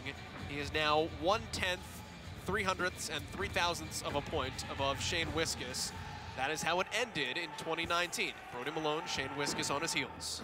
And Paul Juda, he's not out of it either. You know, 0.633. It it feels like a lot, especially when the two guys in front of you are Brody and Shane. But it's going to be interesting. So let's just handicap it the rest of the way. Brody goes floor, pommel horse, rings. He's got pommel horse in the middle there. Shane's already got high bar and pommel horse done, lower scoring events. So, you know, I, and, and Shane also has vault. Um, so I maybe give a little bit of an edge to Shane as far as potential score versus Brody's potential score, but a lot of people die with potential, Joel, I'm told. So, you know, you got to go out and perform, and it doesn't matter what events you have left, he's got to hit. Cameron Bock was the champion at the Winter Cup. He has fallen off the mark. A couple of struggles for Cameron Bock. That leads to the team story with Michigan in third place. Stanford, big jump, is now four, yeah, exactly, no, that's three. Five plus eight is eight minus five. You got this. Yeah. Uh, Three-point lead. Listen, I don't do math well. Uh, three-point lead exactly for Stanford, and then Michigan nipping at the heels for the podium. Nebraska trying to find a way on for third place as well. Yeah, so you know what? You, you, want talk to hand. now. I can't do math. Hey, I, I can't either. I, I flunked out of high school algebra. Um, but you got to look at it this way. So Stanford and Michigan have already vaulted, and that is the event where you can make up the most ground. Oklahoma is on vault now, so they are three points behind Stanford. As it sits right now, they go to vault. But Stanford, you know, they go to the floor exercise where they can put up big numbers. So let's compare their season high scores for a moment on these two respective events. Stanford's season high score is a 69.8. Oklahoma's season high score in vault is a 73.2. So, you know, you don't often get season highs in the championship. They, they actually went they went 77.97 yesterday to best that for Stanford. But it is their weakest event on floor. Yeah, so, well, you know, you look at, yeah, and that, and that means a lot what they did yesterday as well. But, uh, you know, you got to give the advantage to, they went a 70, yeah, 70.797. So that is their highest, you know, you, you got to look at having about three points, two and a half point advantage to Oklahoma in this rotation. They're down by three. We could have virtual tie after this one between those two teams. You know, what's funny, uh, they actually did tie when they met each other in a dual meet this season. How about that, right? How hard is that with the scores? As many combinations of scores as you can have to have a tie, it's almost impossible. Now, in a championship setting where there's more judges, like if we ended in a tie tonight, it's a mathematical impossibility. it's got to be. It would be the, the dumbest thing I've ever seen. But, I mean, the decimals are even through three rotations. Yeah, that's pretty So that's pretty the hard part. Iowa competing as uh, individuals today. This is Jacob Friedman.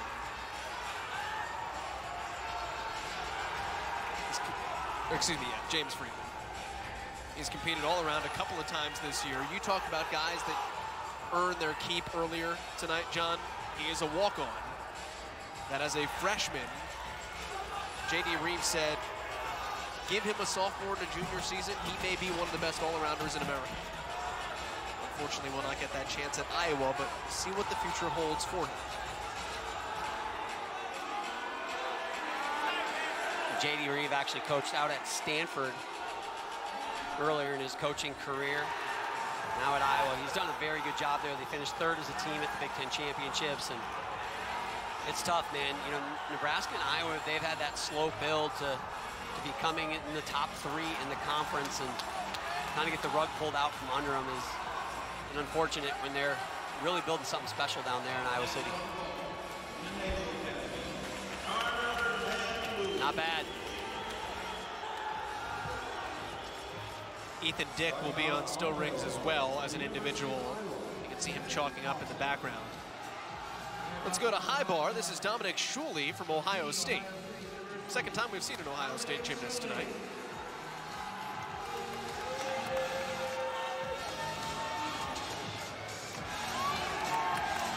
Nice Zoli Min right there, unique one-arm skill.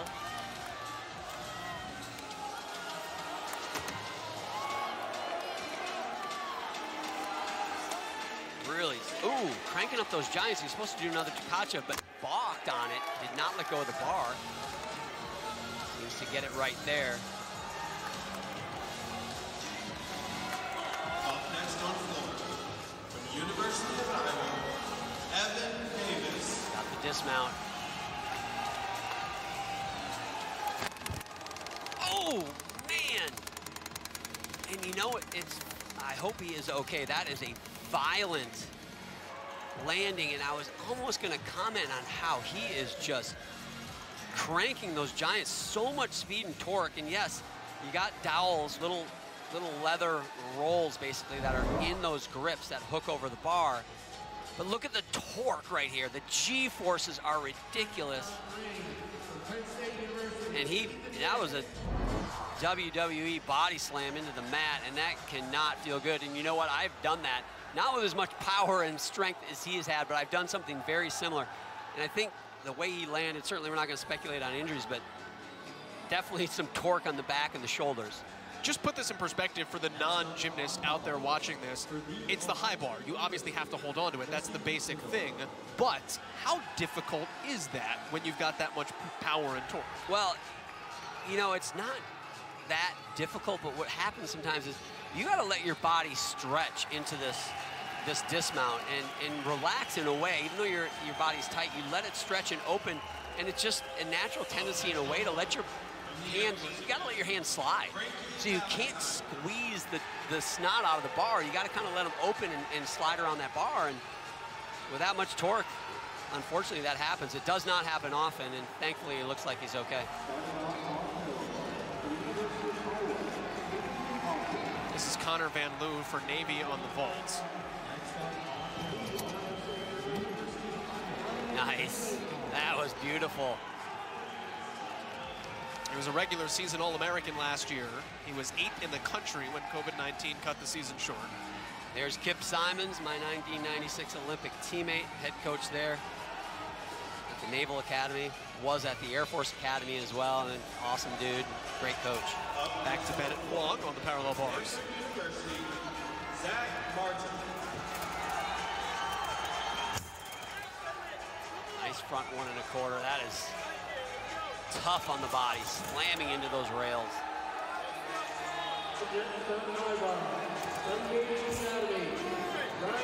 Bennett was 18th nationally on this apparatus this season. Bennett right in there,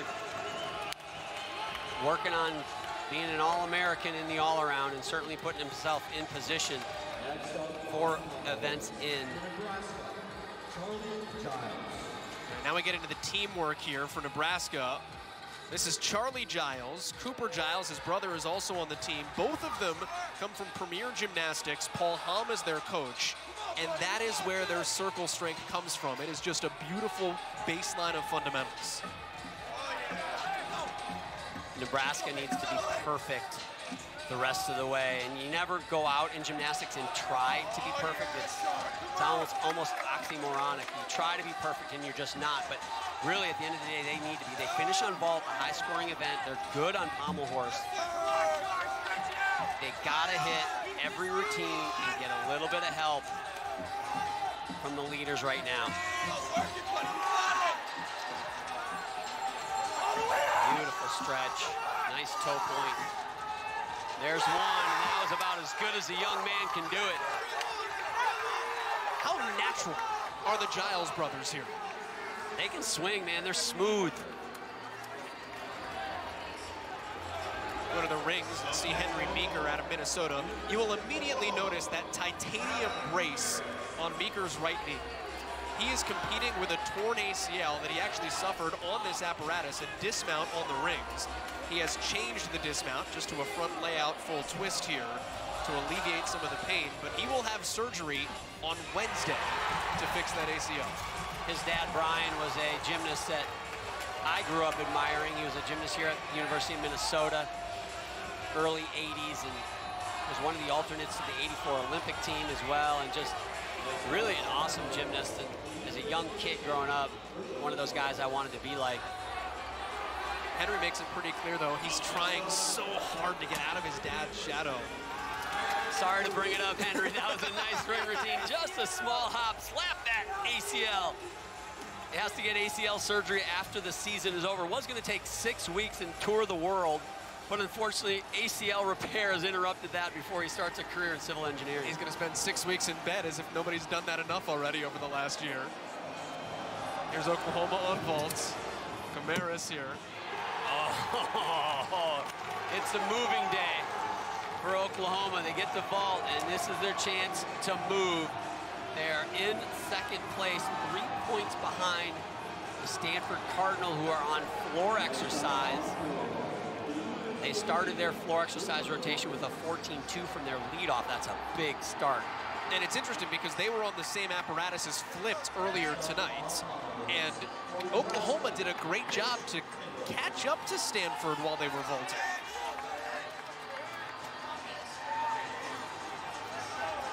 The brothers Tyndall here competing on pommel horse. This is Mitchell of the Saskatoon Tyndalls. Of course, Jesse is competing all around for Ohio State tonight. Wyatt performed at Penn State. 13, 5, 6, 6, a good start score for Nebraska. This is Mitch's only apparatus tonight. They go leech fishing, by the way, up north with their grandparents. I heard about that. That's that's a that's a subject for a whole nother show, I think. That's just they're outdoorsmen. Beautiful. I love his toe point. Nice stretch. Problem is Nebraska's got to catch up, and you can't catch up on a horse, even if you are perfect. But nonetheless, that was awesome. That was awesome. That's what it should look like on the handstand. You know, Nebraska had the same rotation order at the Big Ten Championships, and they had a terrible floor performance. And Chuck Chmelka said, guys, just take a deep breath, regroup, and let's hit. They hit their next 15 in a row, and on the vault, they moved all the way up to second. Mason Menzer, a walk-on, now sixth in the country. Another great one. They are trying to get the lead, and they really need to. They end the meet on high bar. Low scoring event. We've talked about it ad nauseum. So they need to get the lead at this rotation. They've got good parallel bars, and then got to hope they can literally and figuratively hang on on high bar at the end. This is the vaccinated Evan Manavong here on high bar. Little close on that Tkachev, and that's a problem. When you're close to the bar, when you catch, you don't have that momentum to get over the top, and that's a major break. The Illini, right now as it looks, Illini and Minnesota kind of battling it out for that fifth spot. Minnesota had about a one-tenth lead over the Illini coming into this rotation. Minnesota on rings, Illini on high bar. I give the advantage to Minnesota. Both of those teams outside looking in for qualification yesterday. Illinois came in eighth ranked in the country, Minnesota 10th ranked in the country, top six teams, three from each session. So good work for both of them just to get here as we get a look at Riley Loos now on floor from Stanford. That's why they play the game, right, Joel? Yep. So far, early in this rotation, obviously Stanford looks very good and Riley Loos. Sticky feet.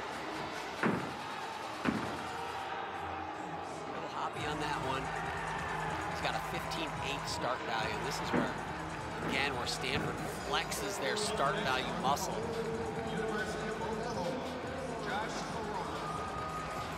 He's going to do a Maltese on floor coming up here in a second.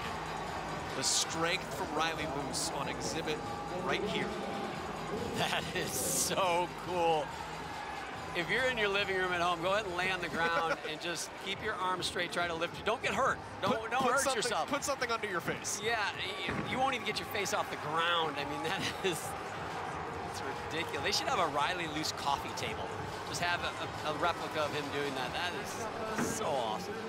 Now available on John Roethlisberger's Etsy. That is a fantastic routine, man. Triple twist dismount. Stanford again trying to keep, keep pace with Oklahoma on vault, and Oklahoma's vaults have been outstanding. The battle of the heavyweights. This is Virgil Watkins on parallel bars. He went 13-7-6, a season high yesterday. Michigan, like Oklahoma, they've got to start closing the gap. The problem for Oklahoma and Michigan is they both have to do high bar still. And that is going to be a tough one to overcome and catch up to the Stanford Cardinal. Keep in mind, Stanford does have pommel horse, and that was awesome. Holy double front, raise the flag. Not going away, though. Not going away.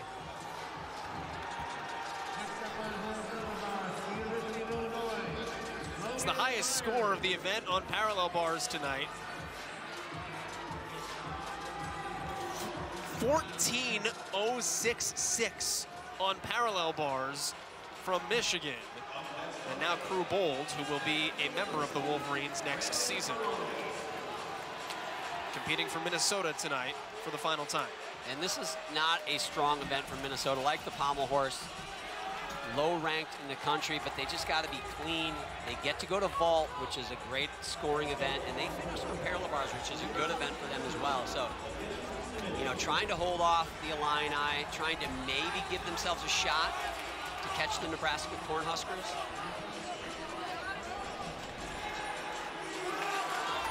Just the fact that Minnesota is here is remarkable. There you go, Crew Bold. Gonna have a different M on his jersey next season. Glad he gets to continue his collegiate career, but right now I'm glad to see that routine nicely done, stuck dismount.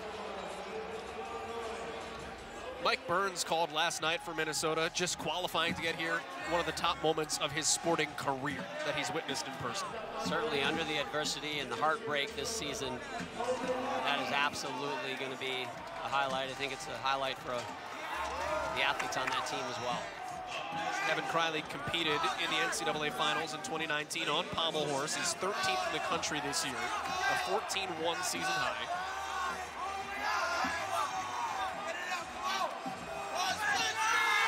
Nicely done. Khalil Jackson right before them at 12.3, which clearly had some breaks, but Charlie Giles, Mitch Tyndall, Evan Criley, great performances. They got one more to go for their team score. 13-8 is the best pommel horse score we've seen tonight. That Paul Juda, just flare fest. Speaking of Paul Juda, here he is on parallel bars where he ranks second in the country. They need a big one. Oh, a major break right there. Right when I said they needed a big one. Unfortunate. Oh, trouble on that Diamidov. Did not swing it up over the top enough.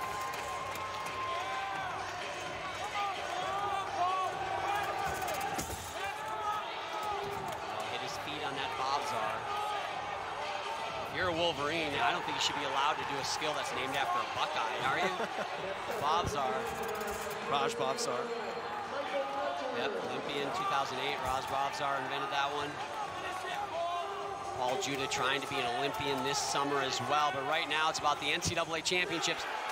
Finishes strong, had some breaks, man. He's a young kid, but he, had, he showed some poise and some savvy getting through that routine. A lot of guys, it would have been a disaster. Not for Judah. Here's Josh Corona vaulting. 20th in the country here. Not bad, two and a half twist. Oklahoma knows they have got to make a move.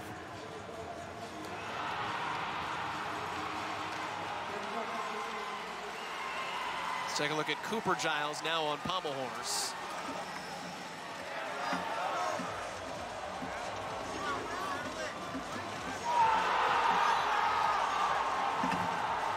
Oh, and the full Kehre came around on that. That's called a Sohn, actually invented by Penn State gymnast Mark Sohn. And he does a full 360 on one hand, ridiculously difficult. and just came off balance. Looks like he hit his leg kind of hard on the pommel as he came off. Man, it's so tough falling early on pommel horse routine. I've done it. Take a breathe, deep breath and basically realize you got to do your whole routine, but you're starting from a one-point deficit. Oh, that's too bad. I mean, he has got the type of routine that is a national championship routine.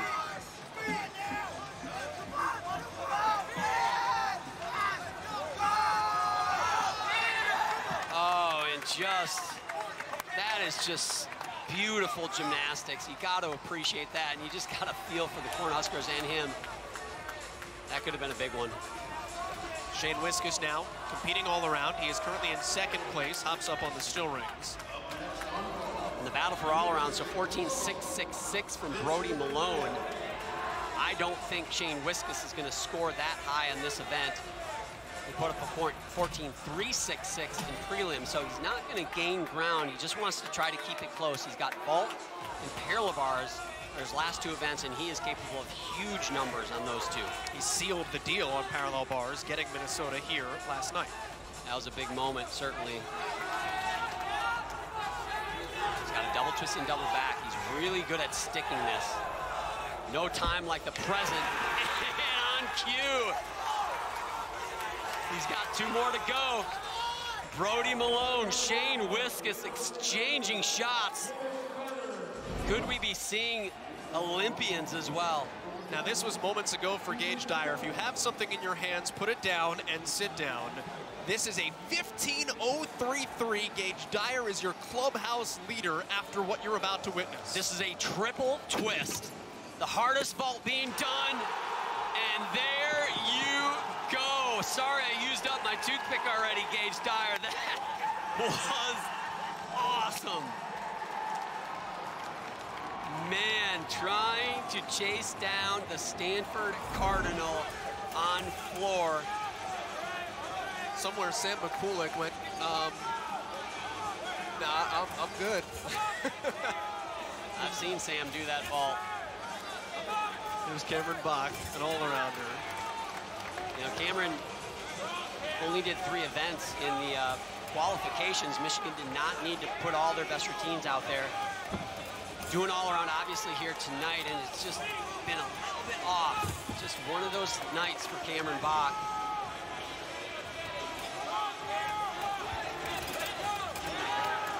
Nice there, though. Another look at the Bhavsar. That is an E skill. A lot of gymnasts doing the Bhavsar.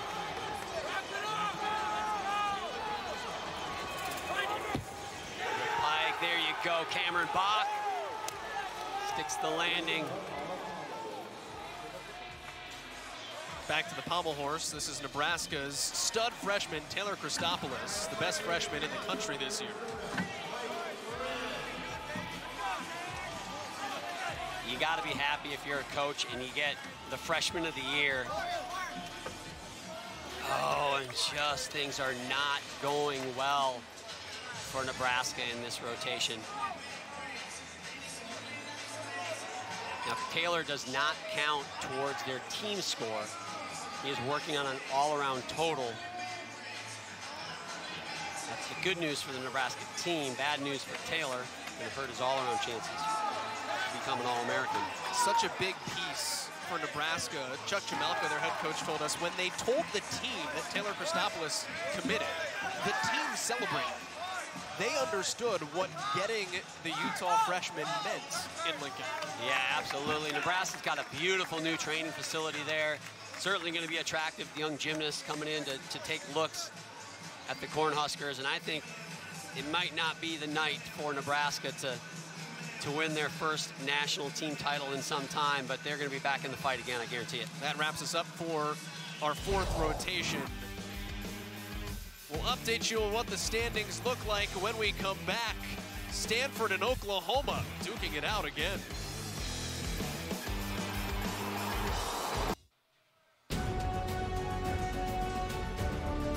Tomorrow, don't miss a huge men's lacrosse showdown when top-ranked Maryland hosts 12th-ranked Ohio State. Coverage starts tomorrow night at 5 o'clock Eastern. You can catch it on Big Ten Network and the Fox Sports app.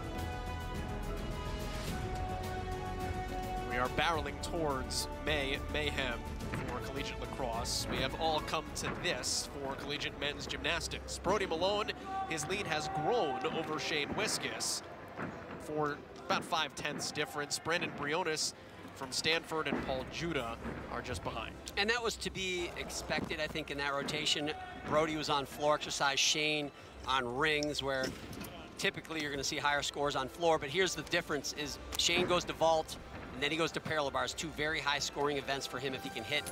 And on the other side of the floor, Brody goes to horse yeah. and rings, which aren't as high as scoring. So this is going to really come right down to the last moment. And Wiskus has laid down the gauntlet on rings, where Malone still has to go because rotation, Wiskus lost points, but he has the best ring score of anybody. Yeah, and you know, you got a horse too, or you know, it's tough to get a 14 period if you're, I mean, perfect. And uh, will be on vault this rotation where he scored a very high 14 in day one, actually scored a 14.766. So that's going to be an interesting one. But looking at the team score, this is this is where the drama is kind of unfolding right now. Stanford and OU, it seems to be between the two of them. It's a one point separating those two teams. Michigan is over five and a half points behind Stanford right now. That is going to be a tough one for them to overcome. They are on high bar next, not going to close ground there. They finish on floor, which they could close some ground, but it's just a big hill to climb. You look at you look at Oklahoma, they're on parallel bars now. They could put up some nice numbers on parallel bars. Stanford is on pommel. So this is an event where Oklahoma, they absolutely, they need to have a lead on Stanford after this one if they want to hold them off in that last rotation because Oklahoma on, on high bar, Stanford on rings in the last rotation. That's advantage Stanford for sure. Oklahoma ended on high bar in 2019 and could not fend off Stanford. If you remember the last championship we had two years ago, Yul Moldauer fell on high bar. That opened the door. Stanford was able to come back in a race a four-point deficit in that final rotation for what was the closest victory in any gymnastics championship in more than a decade that .664 victory for Stanford over Oklahoma in 2019. So a little bit of drama within the drama of this meet is, is the battle for fourth place now. Oh, Illinois, is, they've struggled. They're, they're four points behind Minnesota for the fifth spot.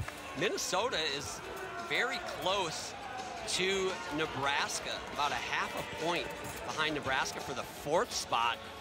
Minnesota is on vault now. I suspect Minnesota will leapfrog the Cornhuskers for that third spot, or that fourth spot rather, in this rotation. But then Nebraska gets to go to vault on the final rotation while Minnesota's on parallel bars. That's probably advantage Nebraska, but again, that battle is going to be close as well. Nick Mock for Penn State will hop over to pommel horse here. He is a specialist competing as an individual.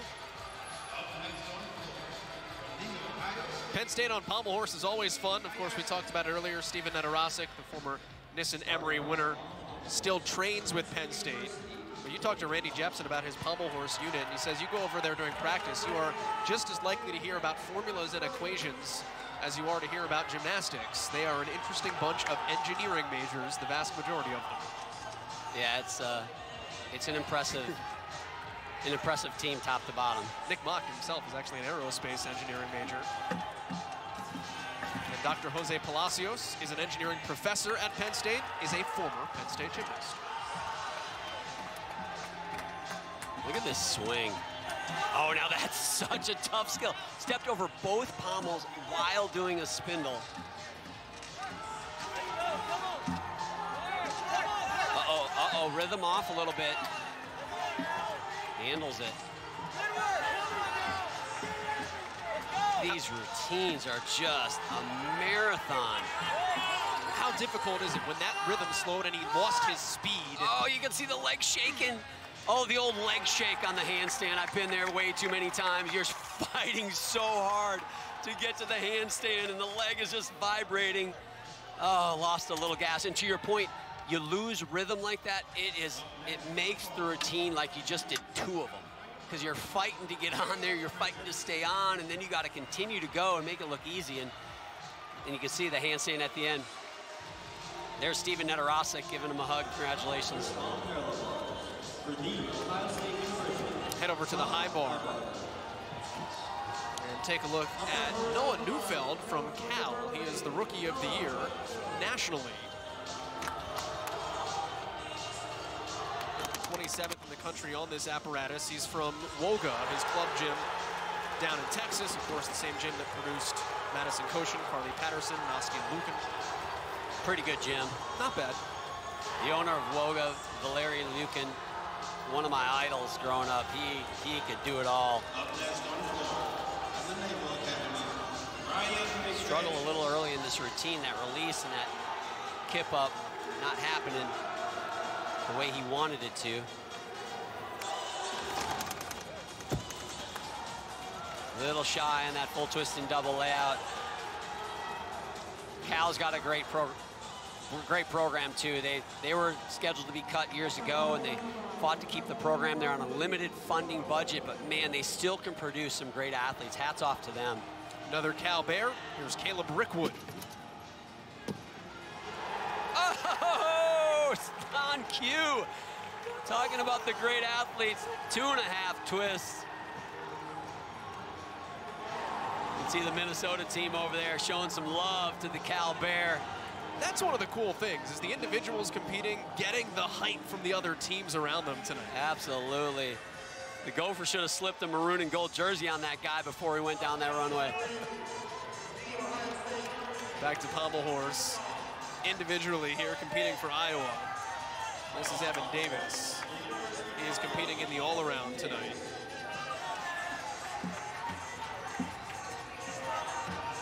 He and Bennett Huang competing in the all-around.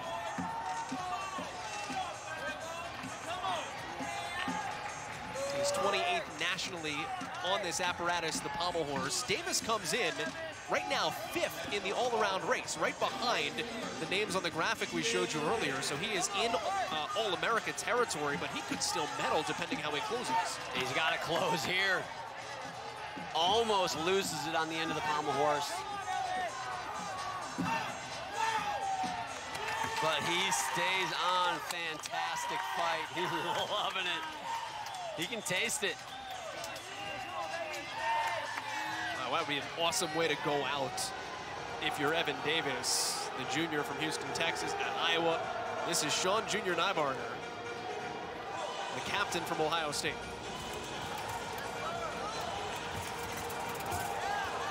That was a big flying Bhavsar from one end to the other.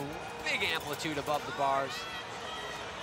If you have a strong grip, if you have strong hands and can hang on to the bars on parallel bars, you have such an advantage. And you, you do those underbar skills, they're worth a lot of points. It's always a weakness for me. I could not hang on to the darn bars. Holy cow, he snuck that double pike around. Looks like he was dumped it off the rails a little bit, but made it around, no problem. Back to Iowa, Bennett Huang. He is a true all-around. He's 18th on high bar. You look at his rankings across. Floor is Bennett's best apparatus. He is seventh nationally there. But his rankings are 15th, 18th, 19th. He is very good at all of these things. And when you combine that together, it makes him an elite all-around gymnast. Steady.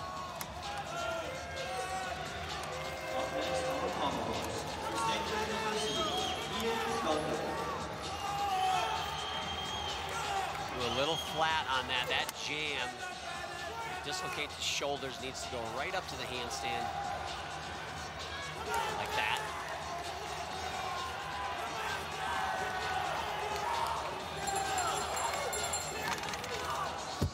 That's a sweet full twisting double layout. Almost looked like he surprised himself right there. You can see JD Reive right in the middle of the screen reenacting that stuck landing. Gotta hang on for dear life. That was an interesting sequence to start the pommel horse routine from Ian Gunther. Two scissor the handstands right in a row. Doesn't get much better than Ian. He is fifth in the country here on pommel horse. First guy up in your pommel horse rotation is fifth in the country. That's a pretty sweet spot to be in. He's got a 15-5 start value, which is also a very good start value on pommels. Talk to Tom Glielmi about the construction and a good routine to start things off by Gunther. And he said, hey, you, you want to build your lineups that your best is typically at the end, but he also considers other events and apparatuses who needs more rest based on what came before and what comes after. And that is why Gunther, as the fifth best pommel horseman in the country, is the leadoff man. Yep. Here's Ethan Dick all around for himself out of Penn State. Nice double twist. You see a lot of the same vault being done across the board. The double twist, the two and a half twist.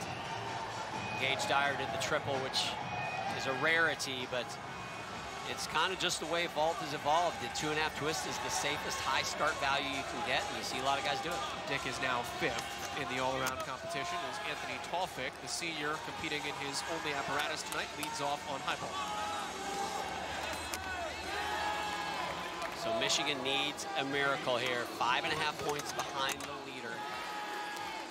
Trying to replicate what the women did from Michigan earlier today in winning the national title, but they've got to put together something incredibly special and get help from Oklahoma and Stanford. This would be the spot. Top team in the country on the horizontal bar. The problem with that is even as the top team in the country, the score high you're not going to score high on this event. Their high this season is a 68.25, and Just the dismount here for Tawfik. oh, that was nice routine though. Michigan's still in it. Oh, it ain't over until it's over. Every routine, every routine counts. Stanford's on pommel horse, and as good as they are, things can go sideways quickly. And as we mentioned, Oklahoma still has to go to the high bar. So Michigan has got to just hit. They've got nine routines left. You got to hit them all and let the chips fall where they may. Stanford right now is your leader as scores continue to trickle in here in this fifth of six rotations. This is Riley Loos on pommel horse. 13-6-3-3 for the leadoff, not bad. Great for some teams. Riley's got a high start value also, a 15-7, so actually two tenths higher than Gunther.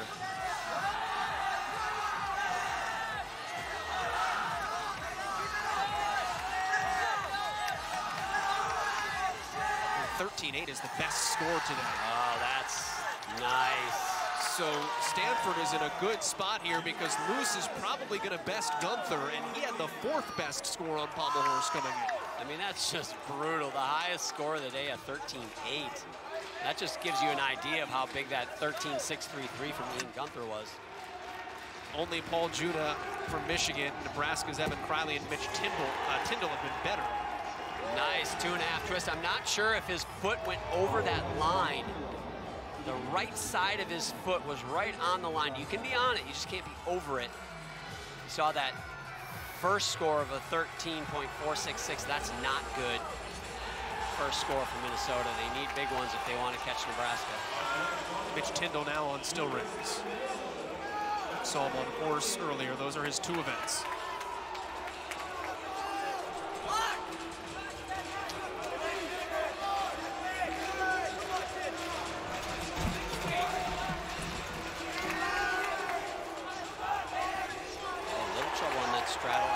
Good swing in that sequence.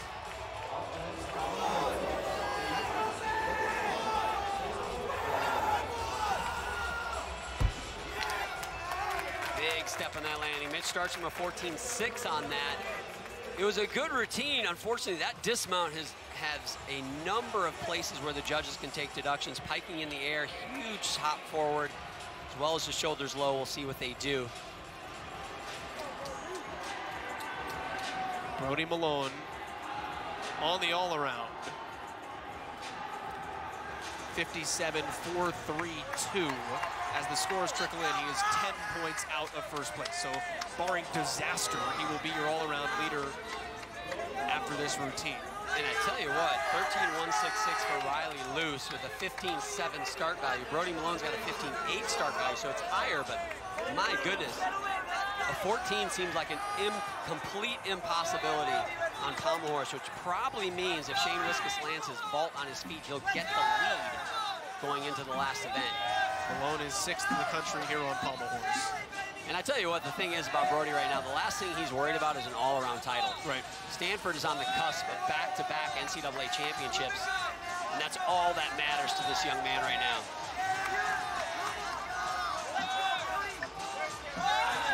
Know, he doesn't have the most, oh, and what a fight right there. He does not have the most stretched swing, just a little, a little pike in the hips, but he just keeps going and going and going and there you go, Brody Malone with one event to go. That was a great effort. And there were some parts where he had to fight through that. Thomas Paul on the high bar for Michigan. He ranks 11th nationally following Tawfik's 13-5-3-3. It's a good score. It's one of the best, actually. Tawfik's tied for fifth right now.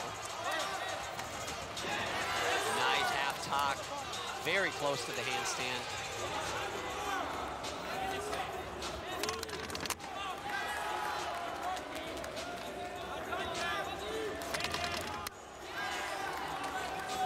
Lot of airtime on those releases.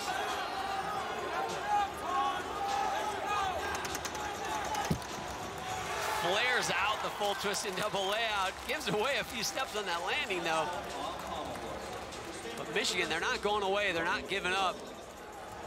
Trying to give themselves a chance. Well, they're typically not a team that beats themselves. They don't make many mistakes. They won their dual meets by an average of 13 points this year, and then the Big Ten by 13 points.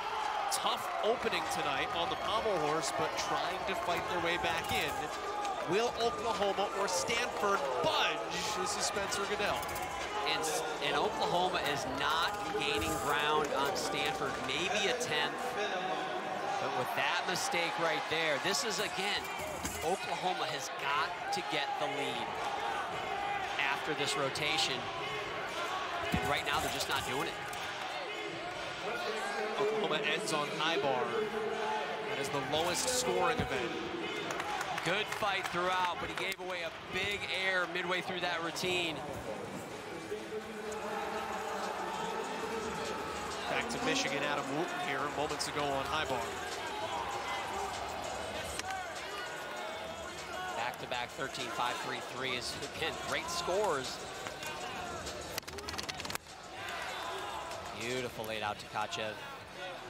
Adam starts for 15-2 on this event. So Tkachev's in combination there. Second one's the Lynch.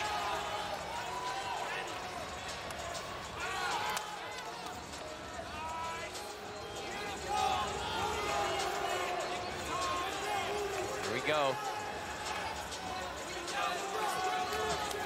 Looks like three in a row for the Wolverines. Can he stick the dismount? Oh, that was beautiful. Raise that, the green flag. He stuck that dismount when he let go of the bar. That full twisting double layout was exactly textbook. Good height, not too far from the bar. Easy one to stick for him. Dylan Young now on the rings for Nebraska.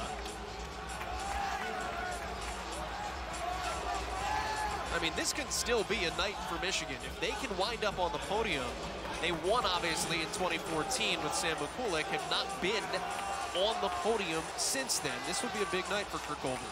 It would, but he wouldn't look at it that It'd way. It'd be bittersweet, I right. can promise you that. He is, they came in with one goal, and that's to be the champs. It would hurt tonight in 10 years. You'd be happy with it. Happier.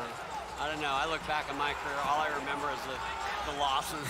I bet you Kurt, as competitive as he is, he's the same way, man. You think about the, the ones that got away. Dismount for Young. Nicely done.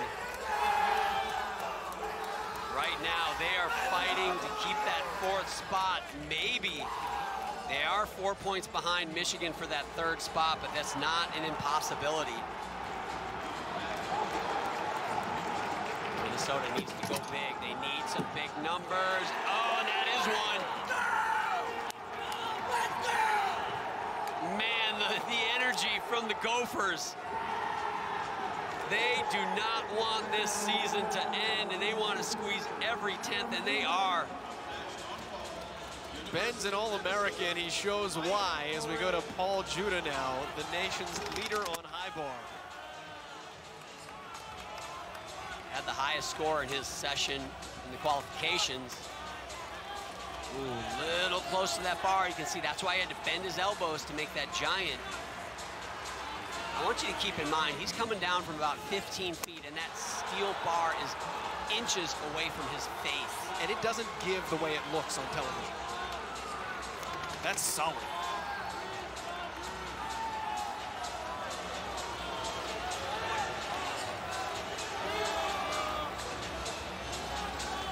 Yeah, I've uh, my my sternum had it up close and personal with the high bar when I was a kid. Oh no! That That's something that never happens for Paul Juda. that was a very unusual error. Man, he you know that's a shock to him as much as it is to anyone else. He is almost a guaranteed, not almost, he is a guaranteed hit on high bar. Third at the U.S. Championships before. And that's unfortunate. He's got 30 seconds to remount the bar, and he's using all of that 30 seconds. He get hit the way he did.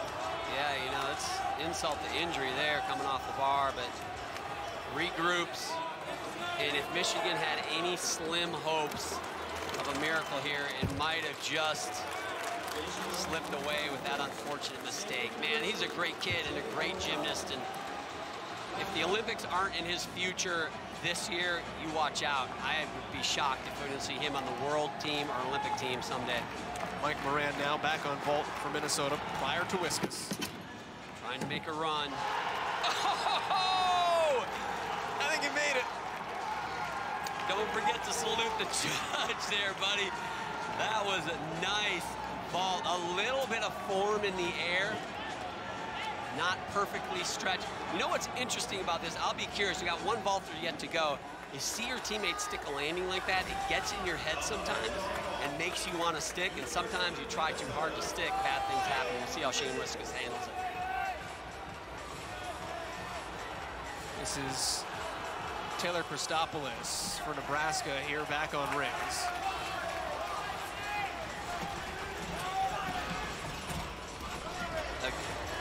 Again,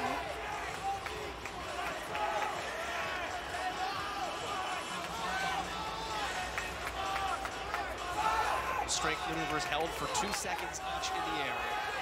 Maybe two and a half to make sure. Minnesota, Nebraska battling it out here. Nice finish for Taylor.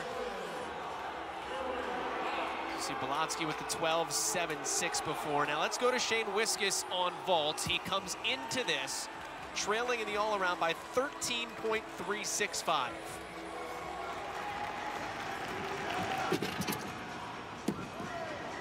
Oh, a disaster. The first flinch from Shane Wiskus, and Minnesota needed that one. They're trying to get in that fourth spot. That's he can score easily a point higher. And that was a moving rotation for Shane Wiskus. It was. He needed to get the lead. Some big pressure now on him going into the sixth and final rotation with Bock on high bar now. Oh my gosh, and just the, the struggles for Cameron Bock throughout today. Unfortunate. Man, that could have been could have been an ugly landing. You know, I mentioned it after Mike Moran stuck his vault. You know, Shane Wiskus is the next to go. He's a savvy vet, and I'm not going to say this is why he came up short, but sometimes you see that happen. You get caught up in the emotion, and you want to stick so bad. And really, the way to do that vault is you just in your head, you say, I'm going to take a step forward. If I stick it, great. Now Wiskus is leading in the all-around after that anyway. 70.433 over Malone's 70.298. Holy cow, it's gonna be, it is gonna be a nail biter. Stanford will be on rings. Uh, Minnesota will be on P-bars to decide the all-around individual title. There's the dismount for Bock. Stanford has the overall team lead. trying to win back-to-back national championships for the Stanford Cardinal. The sixth and final rotation of the national championship. Coming your way next.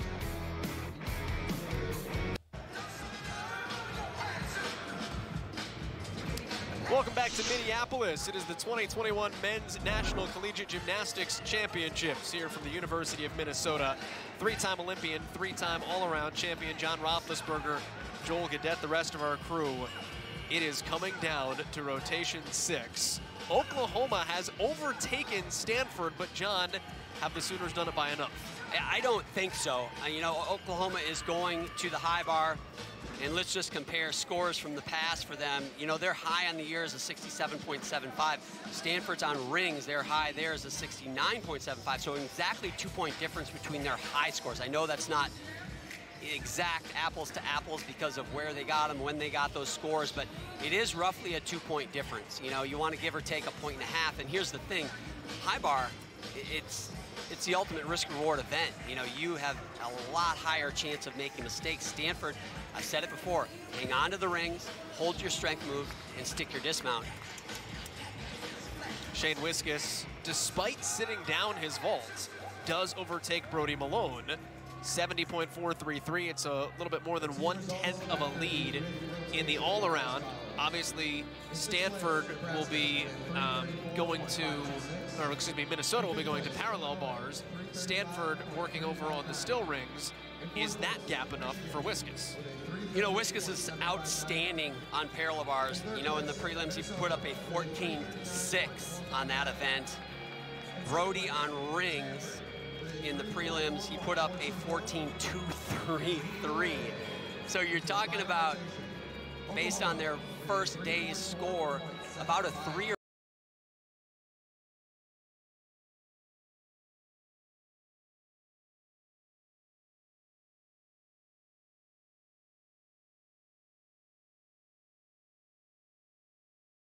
back and forth. But Shane, if he doesn't win this meet, he is going to be kicking himself for that vault because that's a at least a one-point swing.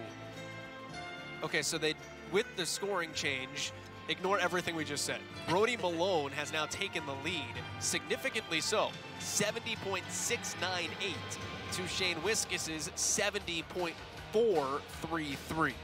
When you look at the rotations here, Shane Wiskus will go in the fifth of six spots for Minnesota. Mike Miranda is competing all around. And Brody Malone will go third for Stanford. So we will know Malone's score and have a number to beat for Wiskus at the end of the night. Wow, just the way that all-around competition should go down. Let's talk team real quick, though. Look at Shane Wiskus. He's got to have a short memory, my man. All the great ones do. You put it behind you, good or bad.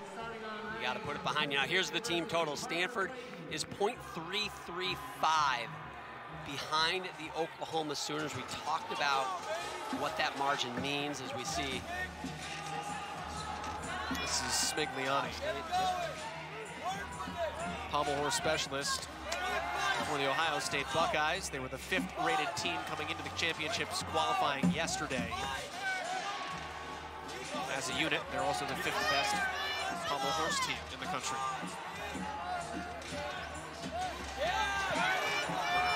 This is nice.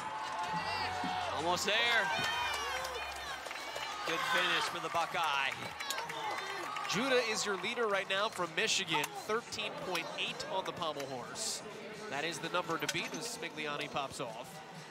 It's gonna be a tough one to beat. Judge is so hypercritical on that event. Michael Jaroh for Penn State here, the parallel bars specialist.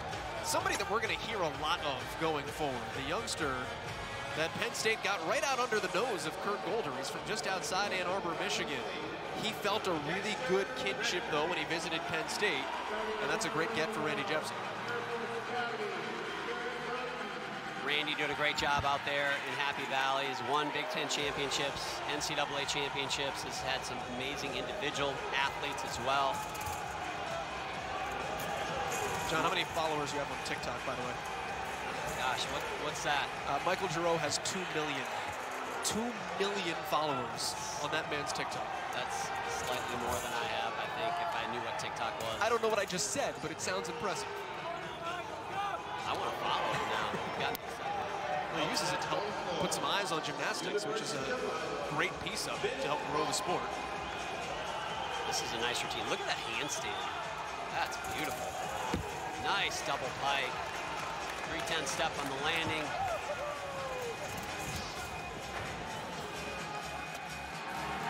Dexter Redker, just an awesome vault yesterday in qualifying from Ohio State.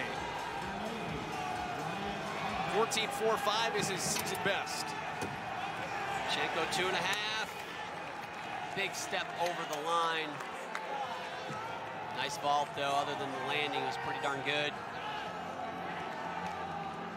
So Nebraska is a team, they're finishing on vault. That's the same place they finished at Big Tens when they made a huge move. So just to keep an eye on, you know, that third spot. Minnesota's in that spot right now, but Michigan is going to floor while Minnesota's on parallel bars. That's an advantage to Michigan. They're only seven tenths behind the Gophers. So I would expect Michigan to move up into that third spot. Illinois finishes on pommel horse. I don't think they're going to move up.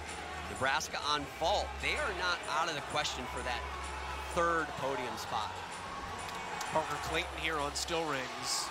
Sneakily one of the better ringmen in the country. Had some back issues late in the season, so he fell out of the rankings, but at one point was the third best ringman in collegiate men's gymnastics. Did not compete because of that injury at Big Tens, but huge for Penn State to get him back here. Chance to be an All-American on the rings. Score to beat on rings is still Wiskus, 14-4 are five 14s.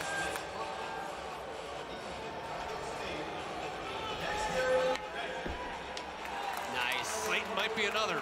You gotta love sticking and landing in gymnastics. No better feeling, full twist and double.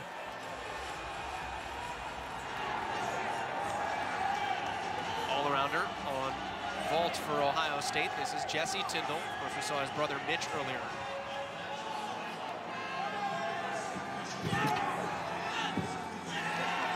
Double twist. We saw Dexter Rutker do the two and a half. He got a 14.266 on that. This one a little cleaner, obviously.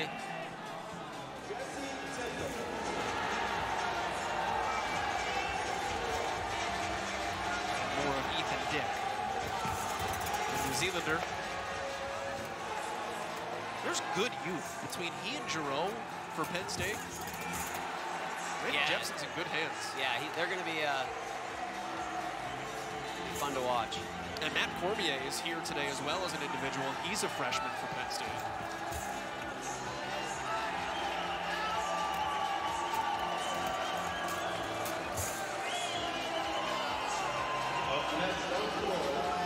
It was high drama for the Nittany Lions as a team last night. Minnesota edging them out late. to get Yeah, State helped them out a little bit. They didn't perform their best down the stretch, and it's part of the story of the sport of gymnastics. It's what you do and how that affects the other teams, and you get an opportunity, you take it. That's what the Gophers did. John, what's your mentality like as a gymnast right now, particularly if you're Oklahoma and Stanford, as you're waiting, you're at your apparatus, you're warmed up, the individuals are competing before you.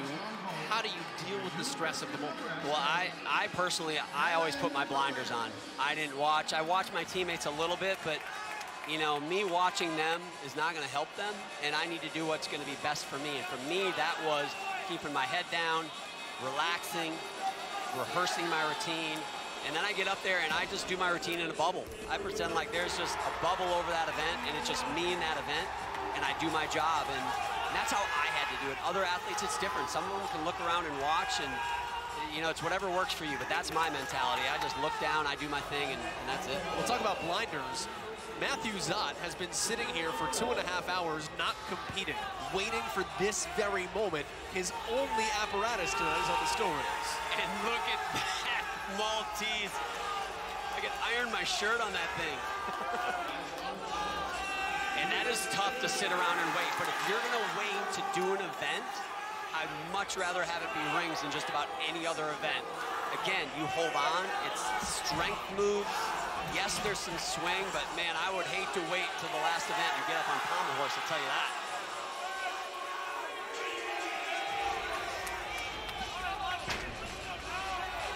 After Zada gets into more familiar names, Loos, Malone, Briones, and Gunther to drive down the home stretch for the Cardinal.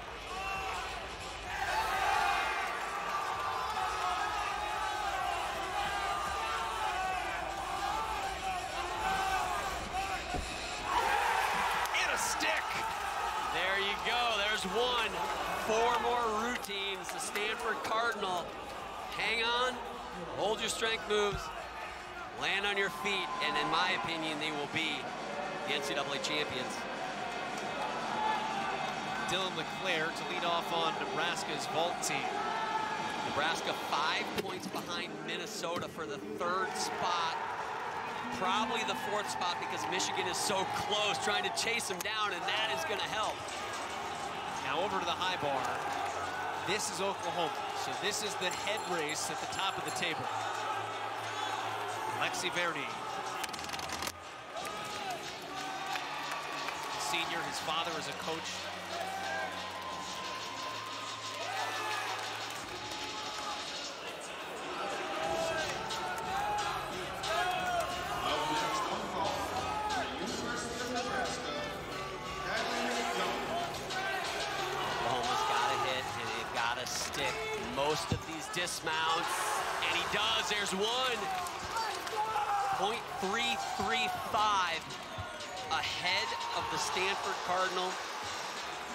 Still waiting for that first Stanford score on rings. This is Dylan Young vaulting for Nebraska. He went 13-9 last night. Another double twist. His teammate Dylan LeClaire got a 14.366 on that vault with a stuck landing, so expect a low 14, but they've got some bigger vaults yet to go. Minnesota's first guy on parallel bars a 13-2, so one gymnast for each of those teams. Nebraska picks up a whole point, over a point. Right, let's head back to Stanford here. Chasing Oklahoma at the start of this rotation, Riley Loos here, U.S. national team member based on his performance at Winter Cup. These are the guys that Stanford is going to ride with down the backstretch. Zots 13-6-6-6, that's good. Look at that Maltese press to planche. That is silly hard. My old teammates, Kip Simons, Blaine Wilson used to do that skill, and I couldn't quite fathom how the human body can even do it.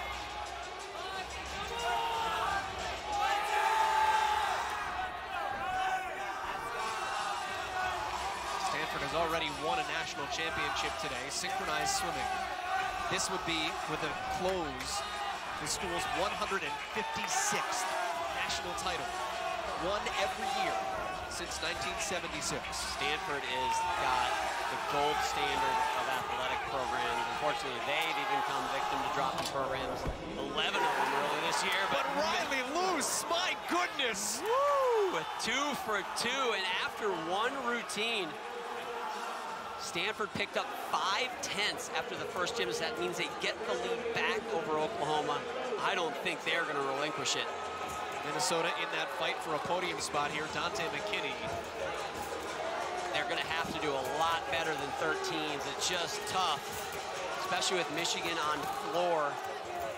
They've already got a 14 and a high 13 to the Wolverines. So, oh, and you can't do that. Can't give away easy 10th.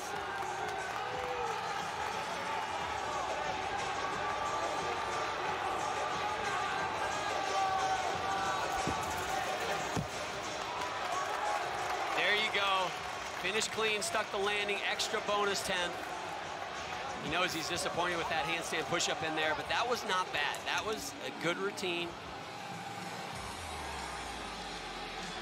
There's James Reed on the floor for the Michigan Wolverines.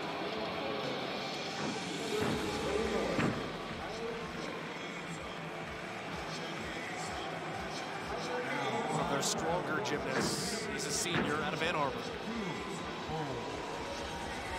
Nice pike double front there.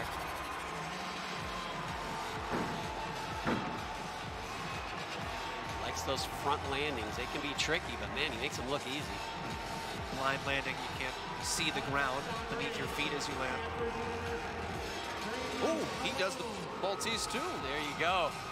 You know, it's funny because Stanford's coaching staff said, I don't know of anybody other than Riley Loos that does one. We have now found our second. There you go. Saw those first two scores, a 14-0 and a 13-7-3-3. So they started the rotation seven tenths behind Minnesota. They've already closed that gap. Michigan really, quite frankly, needs to make mistakes on floor if Minnesota's going to stay ahead of them. I don't expect that to happen. Two and a half twist to finish things off there. Michigan came in as the number two ranked team. Right now in a battle to wind up in third and a bronze medal here at the NCAA championships. Oklahoma and Stanford duking it out one and two. Brody Malone and Shane Wiskus duking it out in the all-around. As we show you Oklahoma now here on the high bar. This is Gracia for Oklahoma. He is their second gymnast up and Stanford's second gymnast up. Oh, big Kovacs put up a 14-166. So really that's the score. You want to compare these scores and athletes. That is what Gracia needs to keep pace with the Cardinal. That is a really tough score to get on the high bar.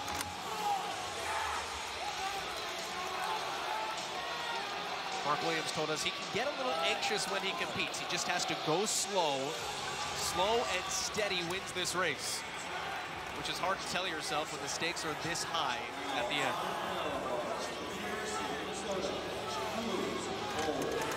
Gotta stick it. Beautiful twist and double layout. Beautiful stretch in the air. Oklahoma putting it putting it all out on the line. All right, here we go now in the all-around competition. This is Brody Malone. Oh, look at that Maltese. Holy cow, is that good. 70.698 where Malone stands. Just ahead of Wiskus, .433 in the all-around scores.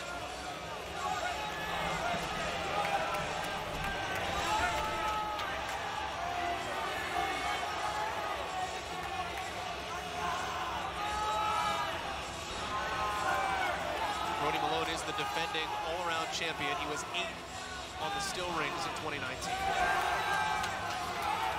This is this is fantastic for Dean. He sticks his landing. It is going to be really tough for Shane Wiskus to catch him. He did! Oh my goodness, he looks like a national champion to me. Brody Malone looking to become the first ever national champion in his first two championship meets. That was clutch, man. Tell you what, I don't think the, the U.S. would look too bad with Shane Wiskus and Brody Malone, maybe a Cameron Bock on that Olympic team. Nebraska's Evan Criley on the vault lineup. May have carried him out of bounds.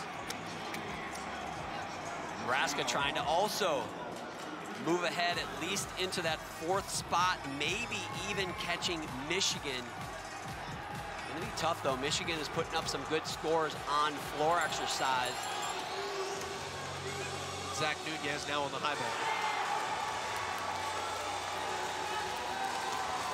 Gracio 13.333, so things slipping away from the Sooners they make their bid catch the Cardinal.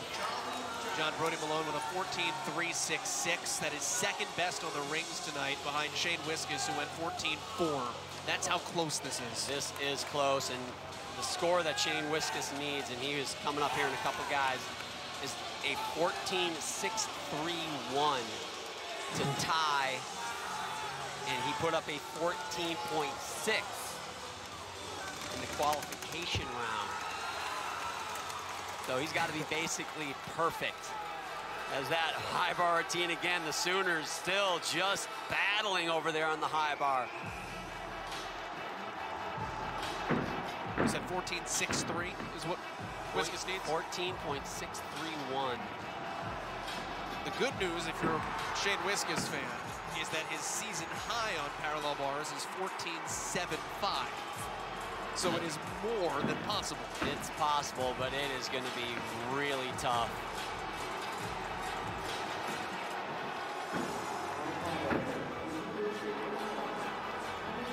This is a very good floor team from Jake Moore. Floor is one of his best apparatuses. Michigan is going to move ahead of Minnesota for the third spot. The question you got to ask yourself is, what about Nebraska? They were four points behind Michigan, but they're on the highest scoring event, vault. But I tell you what, with routines like this right here, I don't think it's going to be possible. This is going to be as high as just about any of those vaults from the Cornhuskers. It's looking very much like a bronze podium finish for the Wolverines. Moore's a defending All-American here on floor trying to work his way back up to that status here, the Big Ten champion of 2019.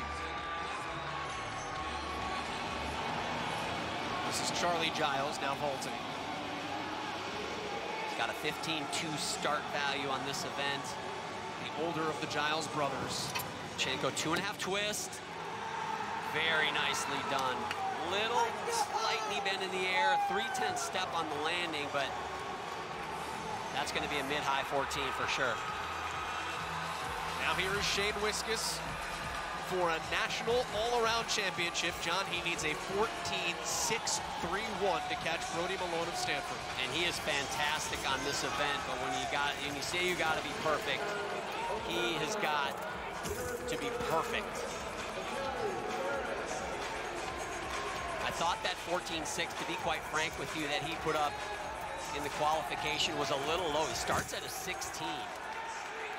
And that means the judges found a 1.4 off, and that just gives you an idea. A visually perfect routine in men's gymnastics is going to have a point off. It's just the way the rules are. They are brutal, but this routine, it could come down to the landing. Mike Burns told us his performance last night was an epic one he would never forget.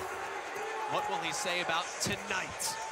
Oh, that landing right there might be the difference, but I tell you what, Shane Wiskus came into these national championships and the soil of the very university that said Minnesota will be no more, he turned to them in this crowd and said, you will not forget Minnesota gymnastics. Hats off to Shane Wiskus. What a performance. If I can steal a line from a man named John Roethlisberger, though, it's not over until he says it is.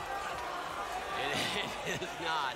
And we'll see what the scoring looks like with Ian Gunther in the anchor spot on rings for Stanford. And Stanford again doing what they have to do. Brody Malone, a 14-3-6-6. Brandon Briones, a 13-8-3-3. All scores higher than Oklahoma on rings. This is Stanford Cardinals Day. And a stick to seal a potential back-to-back national title. They are. I'm going to just tell you right now, I know we like to wait for the official number, but Stanford is going to be your national champions dominant. Ethan Gunther, or excuse me, Ian Gunther knew it immediately. Broke out in absolute tears. Last up on high bar now here for Oklahoma. This is Gamaris, second in the country on this apparatus, but he would have to be huge. Beyond huge. Yeah, it's not it's not going to happen, but Oklahoma had some challenges this season. Didn't have the big guns that maybe they are used to having, certainly compared to Stanford. Those big start values.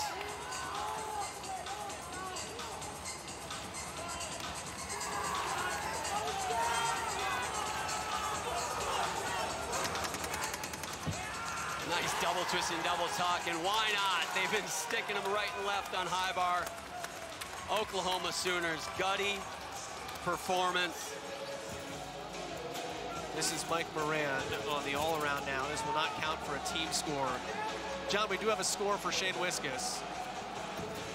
14.433. It is not good enough to win the all around. He is, however, your reigning, defending, and still parallel bar national champion. Yeah, that's a heartbreaker for Shane, especially after that vault. Just had to put that on his feet. Didn't even have to be good, just put it on his feet. Mike Moran finishes with a nice double front half, nails the landing. And certainly that is going to be one that uh, Shane Wiss is going to kick himself over for a long time. But man, talk about a great performance from this Minnesota Gopher team. They came into these championships just struggling, not hitting routines, not performing the way they hoped to, and they came in, made the finals, and hats off to them. But how about hats off to the back-to-back -back national champs? The Stanford Cardinal put it away. They win the national championship tonight for the second time in three years. We'll put the button on it. Back-to-back -back titles for the Cardinal.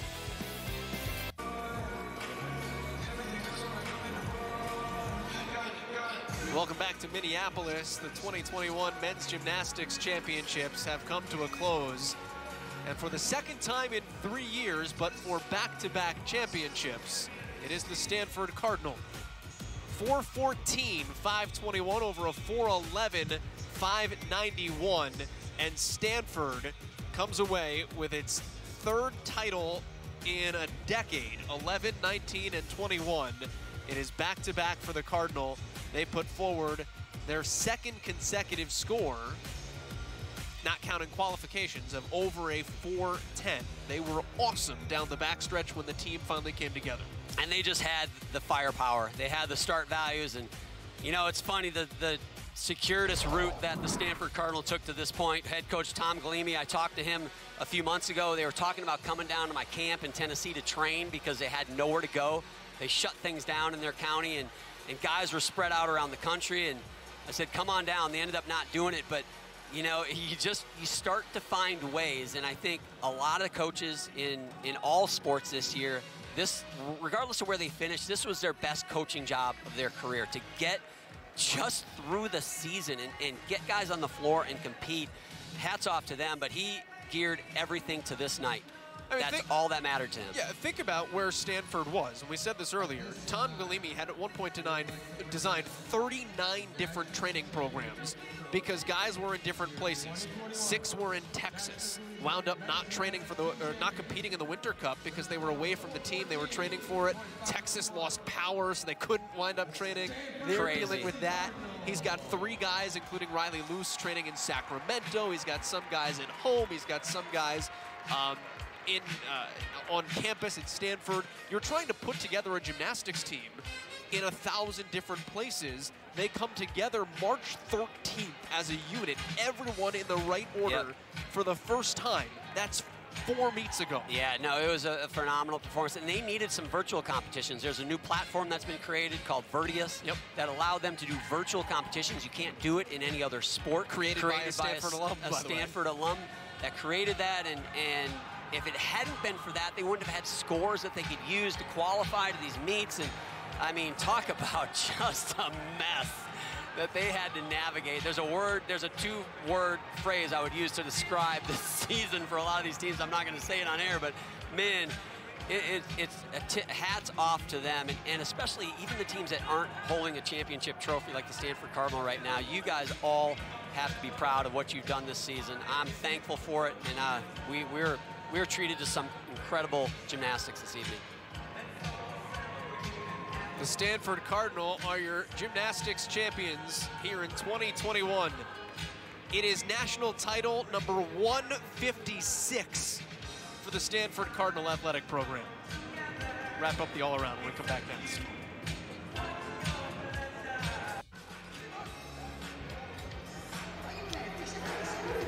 We have crowned a national champion here in Minneapolis. It is the Stanford Cardinal for the second time in as many championships.